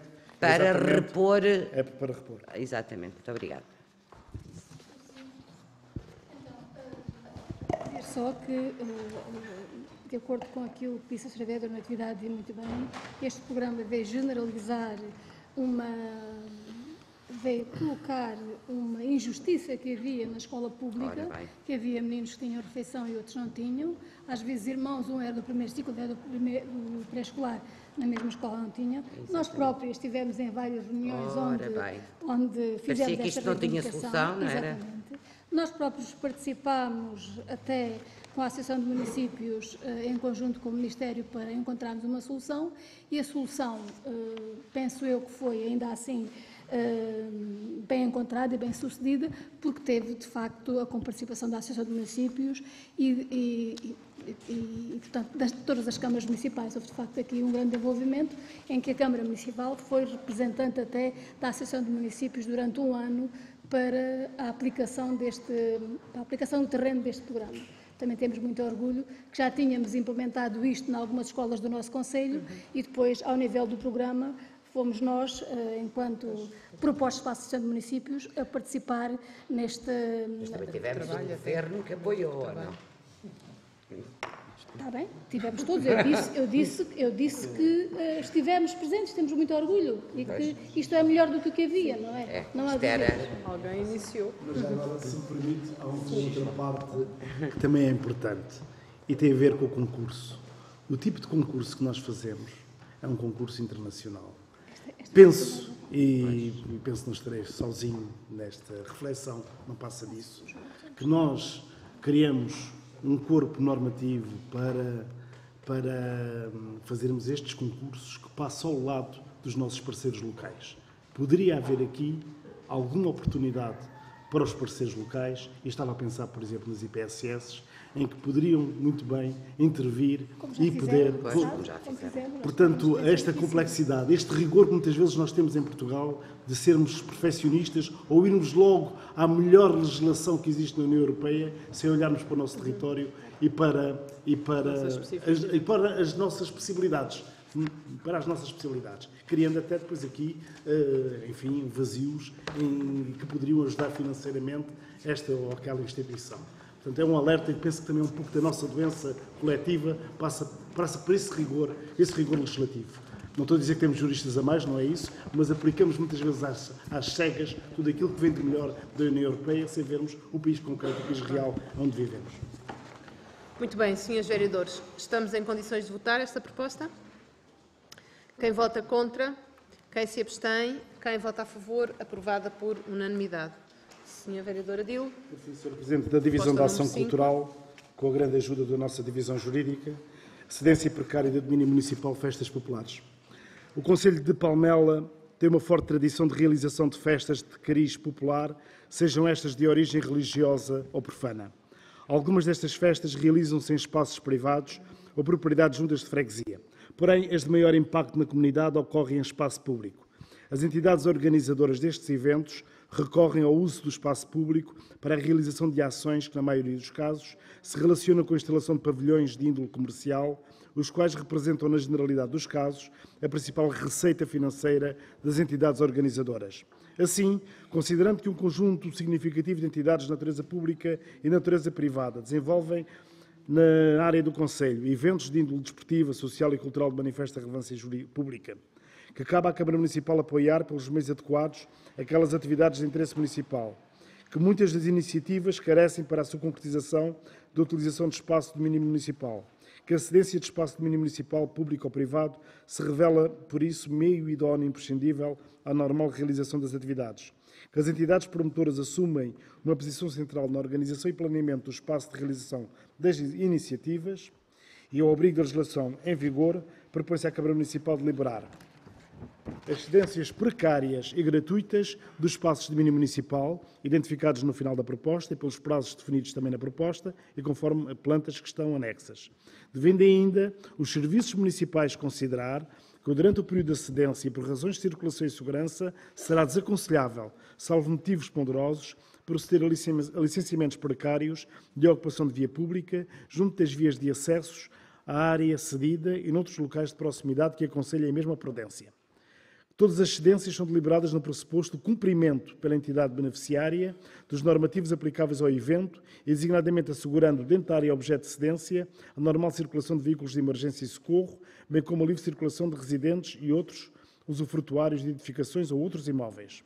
E depois segue-se o conjunto das festas, a de São Gonçalo, a do Pinhal Novo, as festas populares do Pinhal Novo, as festas do Artesanato de Aires, as festas das Vindimas e as festas de todos os santos. Portanto, pelo período que vem referenciado e nas localizações também referenciadas e que depois vêm em planta anexa. Vereador. Senhores vereadores, alguma questão sobre esta proposta? Senhora vereadora Natividade? Muito rapidamente, Sra. Presidente, saudar a proposta, importante, ahm, muito importante ficarem previstas estas festas, Ah, com a condicionante do ponto 1, que também acho que é muito importante, de, de se poder acautelar nesses períodos outro tipo de cedências, mas a nossa posição é claramente favorável. Ok. Vamos votar então. Quem vota contra? Quem se abstém? Quem vota a favor? Aprovada por unanimidade. Obrigada, Sr. Vereador Adil. E para a última, a última proposta, passa a palavra ao Sr. Vereador Luís Calha, por favor. Muito obrigado, Sr. Presidente. Uma proposta de adjudicação eh, relativamente ao concurso público para combustíveis rodoviários em regime de fornecimento contínuo. Em reunião de Câmara realizada em 2 de dezembro do ano transato, foi aprovada a abertura do concurso público respectivo programa caderno de encargos para aquisição de combustíveis rodoviários em regime de fornecimento contínuo. O presente concurso público está repartido em dois lotes, dependendo da modalidade de fornecimento dos mesmos. Lote 1, gasóleo, gasóleo a granel, e lote 2, gasóleo e gasolina em postos de abastecimento públicos, com prazo limite de 3 anos de vigência ou um montante máximo de realização de despesa de, de 1 milhão e 300 mil euros, no caso do lote 1, e 400 mil euros, no caso do lote 2, acrescidos de IVA à taxa legal em vigor. No âmbito do procedimento foram recepcionadas propostas de três entidades, efetuado relatório preliminar com intenção de adjudicação, que foi submetida à audiência prévia dos interessados e à qual os concorrentes não se pronunciaram, conforme consta do relatório final em anexo, onde é proposto pelo júri de concurso a adjudicação do lote 1 ao concorrente Creixo, Auto Combustíveis e Lubrificantes S.A. e do lote 2 ao concorrente eh, Repsol Portuguesa S.A. Cumprida a tramitação preceptuada no Código dos Contratos Públicos e de acordo com a legislação em vigor, propõe-se que seja aprovado o relatório final, subscrito pelo júri do procedimento e consequente adjudicação nos seguintes termos. Lote 1 ao concorrente Creixo Auto, Combustíveis e Lubrificantes S.A. Lote 2 ao concorrente Repsol eh, Portuguesa S.A. Disse, Sr. Bem, Presidente. Sr. Vereador, Srs. Vereadores, alguma questão sobre esta proposta, por favor? Sr. Vereador Fonseca Ferreira, tem a palavra. Nós não, não temos nada a opor, a obstar a esta proposta e só, só queria aqui esclarecer julgo que, que a reunião a que, é referida não é 2 de dezembro, mas 15 de dezembro, se eu tenho bem os meus dados na ata. Mas, portanto, é um pormenor só. é? Muito bem, então os É nossos só verificar isso. devem Sim, confirmar, não é? confirmar, Pois, exatamente. alteração. Exato. Se for, eh, de facto, assim, far-se-á a correção, correção. então, está bem? Obrigada, Sr. Vereador, também pela chamada de atenção. Não há outras questões? Então, vamos votar com esta, com esta alerta para conferirmos. Quem vota contra? Quem se abstém? Quem vota a favor? Aprovada por unanimidade. Eh, obrigada, senhores vereadores. Terminamos as nossas propostas. Pergunto agora às senhoras e aos senhores munícipes presentes na sala se desejam usar da palavra. Há um pedido. Pergunto se mais alguém deseja usar da palavra. Então vamos passar eh, o microfonezinho àquela senhora, por favor. Pedia só que se identificasse, está bem? E que dissesse então qual era o assunto. Boa tarde. Boa tarde. Ah, o meu nome é Carla Azevedo. Eu, Desculpe, desculpe, não consegui Carla, perceber. o meu nome é Carla Azevedo. Muito bem, obrigada. Eu resido em Olhos d'Água e desde o início deste ano que tenho contactado várias vezes ahm, os serviços da Câmara, nomeadamente a parte da fiscalização, ahm, porque tenho um vizinho meu que, quando eu adquiri ahm, a casa, já tinha um armazém no terreno dele, portanto é uma zona de quintas, já tinha um armazém no terreno dele, que a mim nada me incomodava, mas que este, no início deste ano eu soube que está a decorrer há, eu adquiri a casa há seis anos, está a decorrer um processo para demolição do mesmo. Pronto, até lá não me tinha incomodado, só que este senhor instalou no início deste ano, ao pé de minha casa, a metros de minha casa, uma cisterna de gás, e nesse armazém o senhor faz o abastecimento de botijas de gás e vende ao público. Pronto. E a questão que eu ponho é, portanto, eu venho neste momento solicitar ajuda, já solicitei, já inclusive contactei um, a Direção-Geral de Energia, que me dizem que não é da competência da Direção-Geral de Energia, portanto, é uma fiscalização tripartida, é da Direção Regional. A questão que eu ponho é, um, da parte da Câmara, tanto da parte da fiscalização como da parte da proteção civil, foram logo ao local assim que eu os contactei, só que até hoje ninguém me resolve a situação. Então eu não estou a falar de um comércio de produtos hortícolas, um, estou a falar de um comércio que me deixa muitas dúvidas em relação à segurança que eu tenho na minha casa. Portanto, eu, eu trabalho na zona de Sintra, procurei este local para, para viver para encontrar um bocadinho a paz e o sossego do, do campo, é? e deixei de ter sossego, porque este senhor, uh, não sei se isto tem influência, é advogado, faz no quintal, na, na, casa dele, portanto, no terreno dele, aquilo que quer, ele poderia ter feito, colocado a cisterna entre o armazém e a casa dele, que ficava bem longe da minha casa, mas não, colocou na, ao pé da minha casa. Eu tenho uma criança pequena, uh, Aliás, a cisterna está bem na direção do, do baloiço onde ela costuma brincar e eu não vejo por parte eh, da autarquia, portanto, sendo aquele armazém ilegal, estando este processo a arrastar-se há não sei quantos anos, este senhor cimentou uh, todo o, o, quintal onde colocou a cisterna, tem aos poucos, depois primeiro colocou um gradeamento todo enferrujado, portanto, as pessoas que eu vejo a trabalhar no local, foi o pedreiro que lhe cimentou um, o local para a colocação da cisterna e a minha questão é, é onde é que eu posso recorrer mais? Uhum. Uh, eu não me interessa se aquele armazém vai ou não abaixo, eu queria aquela cisterna fora dali porque queria ver, quer dizer, com que direito é que aquele senhor põe a nossa vida em risco, desvaloriza também a minha casa, porque se fosse neste momento eu ir comprar a casa hoje, não a compraria por causa daquela cisterna. Portanto, isso solicito uma intervenção urgente porque eu sinceramente é dramatizar a situação, é pelo aquilo que eu vejo, hum, não, nada me garante que eu tenha segurança na minha casa. E que aquilo não, se uma botija faz os estragos que faz, uma cisterna daquela dimensão, com certeza que eu não ficarei para contar história, nem eu, nem ninguém que esteja na minha casa. Muito obrigada. Uh, obrigada. Nós, um, o senhor vereador Álvaro Amaro já explicará, portanto, a Câmara Municipal já conhece, os nossos serviços já tiveram intervenção no, no assunto, mas eu, eu, vou passar a palavra ao senhor vereador. Perguntava só se há mais alguma questão que algum dos presentes queira colocar, por favor. Pronto, então, se não houver, passo a palavra ao senhor vereador para esclarecer esta questão. Muito obrigado, Sra. Presidente.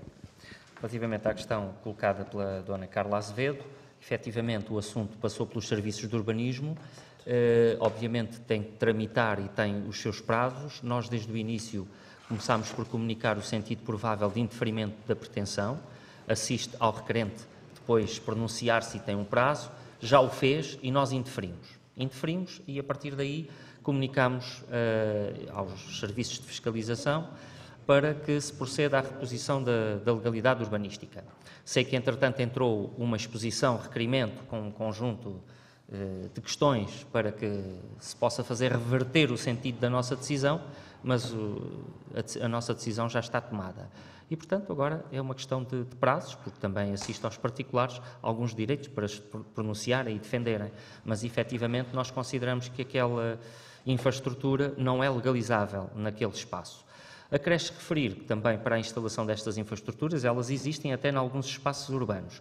Existem é, é, distâncias mínimas é, de colocação e um conjunto de mecanismos de segurança, mas que neste caso nós nem sequer nos detivemos sobre essas questões de pormenor em análise, porque mesmo que tivesse tudo isso contemplado no projeto, não seria legalizável naquele espaço. E, portanto, está ilegal e foi, foi indeferido uh, a legalização. Portanto, neste momento uh, decorrerão prazos para depois, eventualmente, claro. se levar coercivamente à desmontagem. E já, já Eu peço desculpa, mas uh, também o armazém está ilegal. Uh, é porque da parte da Câmara, a única pessoa que me contactou foi o, foi o Sr. Carlos Cassuete, uhum. da Proteção Civil, Sim. porque de resto um, disseram que a Dona Luísa Morato me iria contactar, a Doutora Fernanda Pezinho e da parte da Câmara, todo, todas as diligências, fui eu que sempre contactei a Câmara. Portanto, a única pessoa que me contactou foi o Sr. Carlos, da Proteção Civil, uh, porque até, desde fevereiro até agora, uh, tenho sido sempre eu a contactar. A minha dúvida é os prazos, porque uh, eu sei que tem prazos, eu sei que há trâmites legais, mas uh, a minha dúvida é, sendo aquele armazém e estando há seis anos, pelo menos, que eu estou a, a, viver lá também para legalização, que não, é, não, não foi licenciado, ele até hoje também não foi demolido. A minha, dúvida, a minha questão é: será que aquela cisterna vai ficar 6, 7, 8, 10 anos? Porque aquele senhor continua a fazer as coisas à descarada. À quinta-feira o senhor chega, abre o armazém, faz a venda, põe a plaquinha, troca aqui a sua botija de gás, fecha o armazém ao domingo quando se vai embora, porque o senhor não reside no local e eh, o que me faz parecer que neste aqui toda a gente sai impune perceba? E, e, esta, daí a minha revolta, porque quando contactei, o primeiro contacto que fiz com a, com a Câmara foi o Serviço de Arquitetura para tentar levantar o um muro de forma a que eu tivesse mais proteção ali. Portanto, para eu levantar o um muro, eu tenho que meter um projeto a um arquiteto, tenho que pedir um, um estudo à Câmara, à Câmara que me vai custar 300 e poucos euros. Portanto, eu fazendo as coisas corretas, sou penalizada. Aquele senhor faz tudo o que quer ali, Uh, e não foi ainda penalizado por nada, isso a mim pouco me importa, eu só não quero é ser eu penalizada uhum. e correr o risco, que, os riscos que estou a correr, tanto por mim como para a minha família. E a minha questão é, quanto tempo é que isto uhum. vai demorar? Porque para mim é urgente, era para ontem que aquilo teria que ter saído. Quer dizer, eu, para mim aquilo nunca deveria ter sido construído. Uhum. Muito bem, uh, pronto, eu penso que ficou claro aquilo que o senhor uh, vereador uh, Álvaro Amar aqui explicou. Um, com certeza que nem ele sabe de cor, nem nenhum dos nossos serviços neste momento, não tendo aqui o processo, qual é o tempo que, entretanto, a pessoa tem legalmente para poder responder. A única coisa que poderemos acrescentar é que, naturalmente, tratando-se de uma infraestrutura dessa natureza, como a senhora diz, enfim, uma infraestrutura de gás, contém naturalmente um, um, um um risco associado, não é?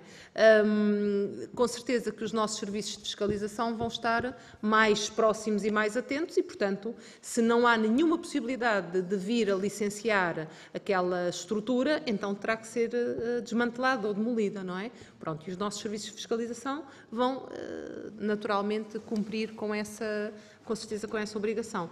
Só clarificar um outro aspecto, quer dizer, é normal que a relação, quer dizer, não é normal que a senhora não tenha uma resposta. Isto que nós estamos aqui a dizer, que o Sr. Vereador está aqui a dizer, porque conhece.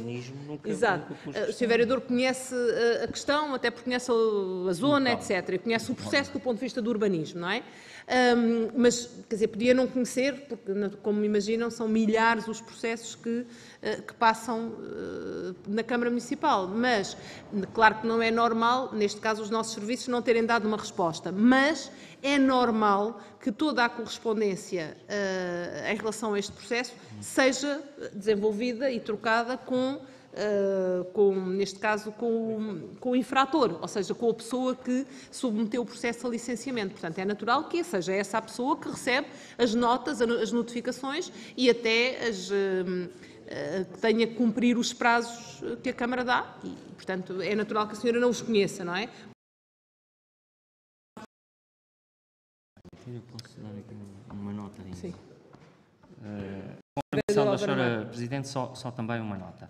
Eh, é normal que tenha havido eh, algum atraso, e aqui não é. Eh, aliás, cabe-me sempre assumir a defesa do município, mas é outro serviço que, que não dependendo do meu pelouro, que tem de funcionar assim. Quer dizer, o serviço e as pessoas que citou pertencem à divisão de fiscalização mas aguardavam da parte do urbanismo a deliberação final. E a deliberação final foi, foi indeferimento. A partir deste momento é que estão criadas as condições para encetar para uh, os outros procedimentos. Uh, e, portanto, eu não concluiria já que, que qualquer infrator uh, ficará impune. Para já o assunto está bem agarrado e bem recenseado, é o que lhe posso dizer. Muito bem, vamos continuar a acompanhá-la então. De qualquer maneira, obrigada pela intervenção, pela questão e estamos à disposição de todos. Se não houver mais questões, nós terminamos a nossa reunião agradecendo a presença das senhoras e dos senhores munícipes, desejando o resto de uma boa semana e recordando que a reunião seguinte é de hoje a 15 dias, em Quinta do Anjo, à noite.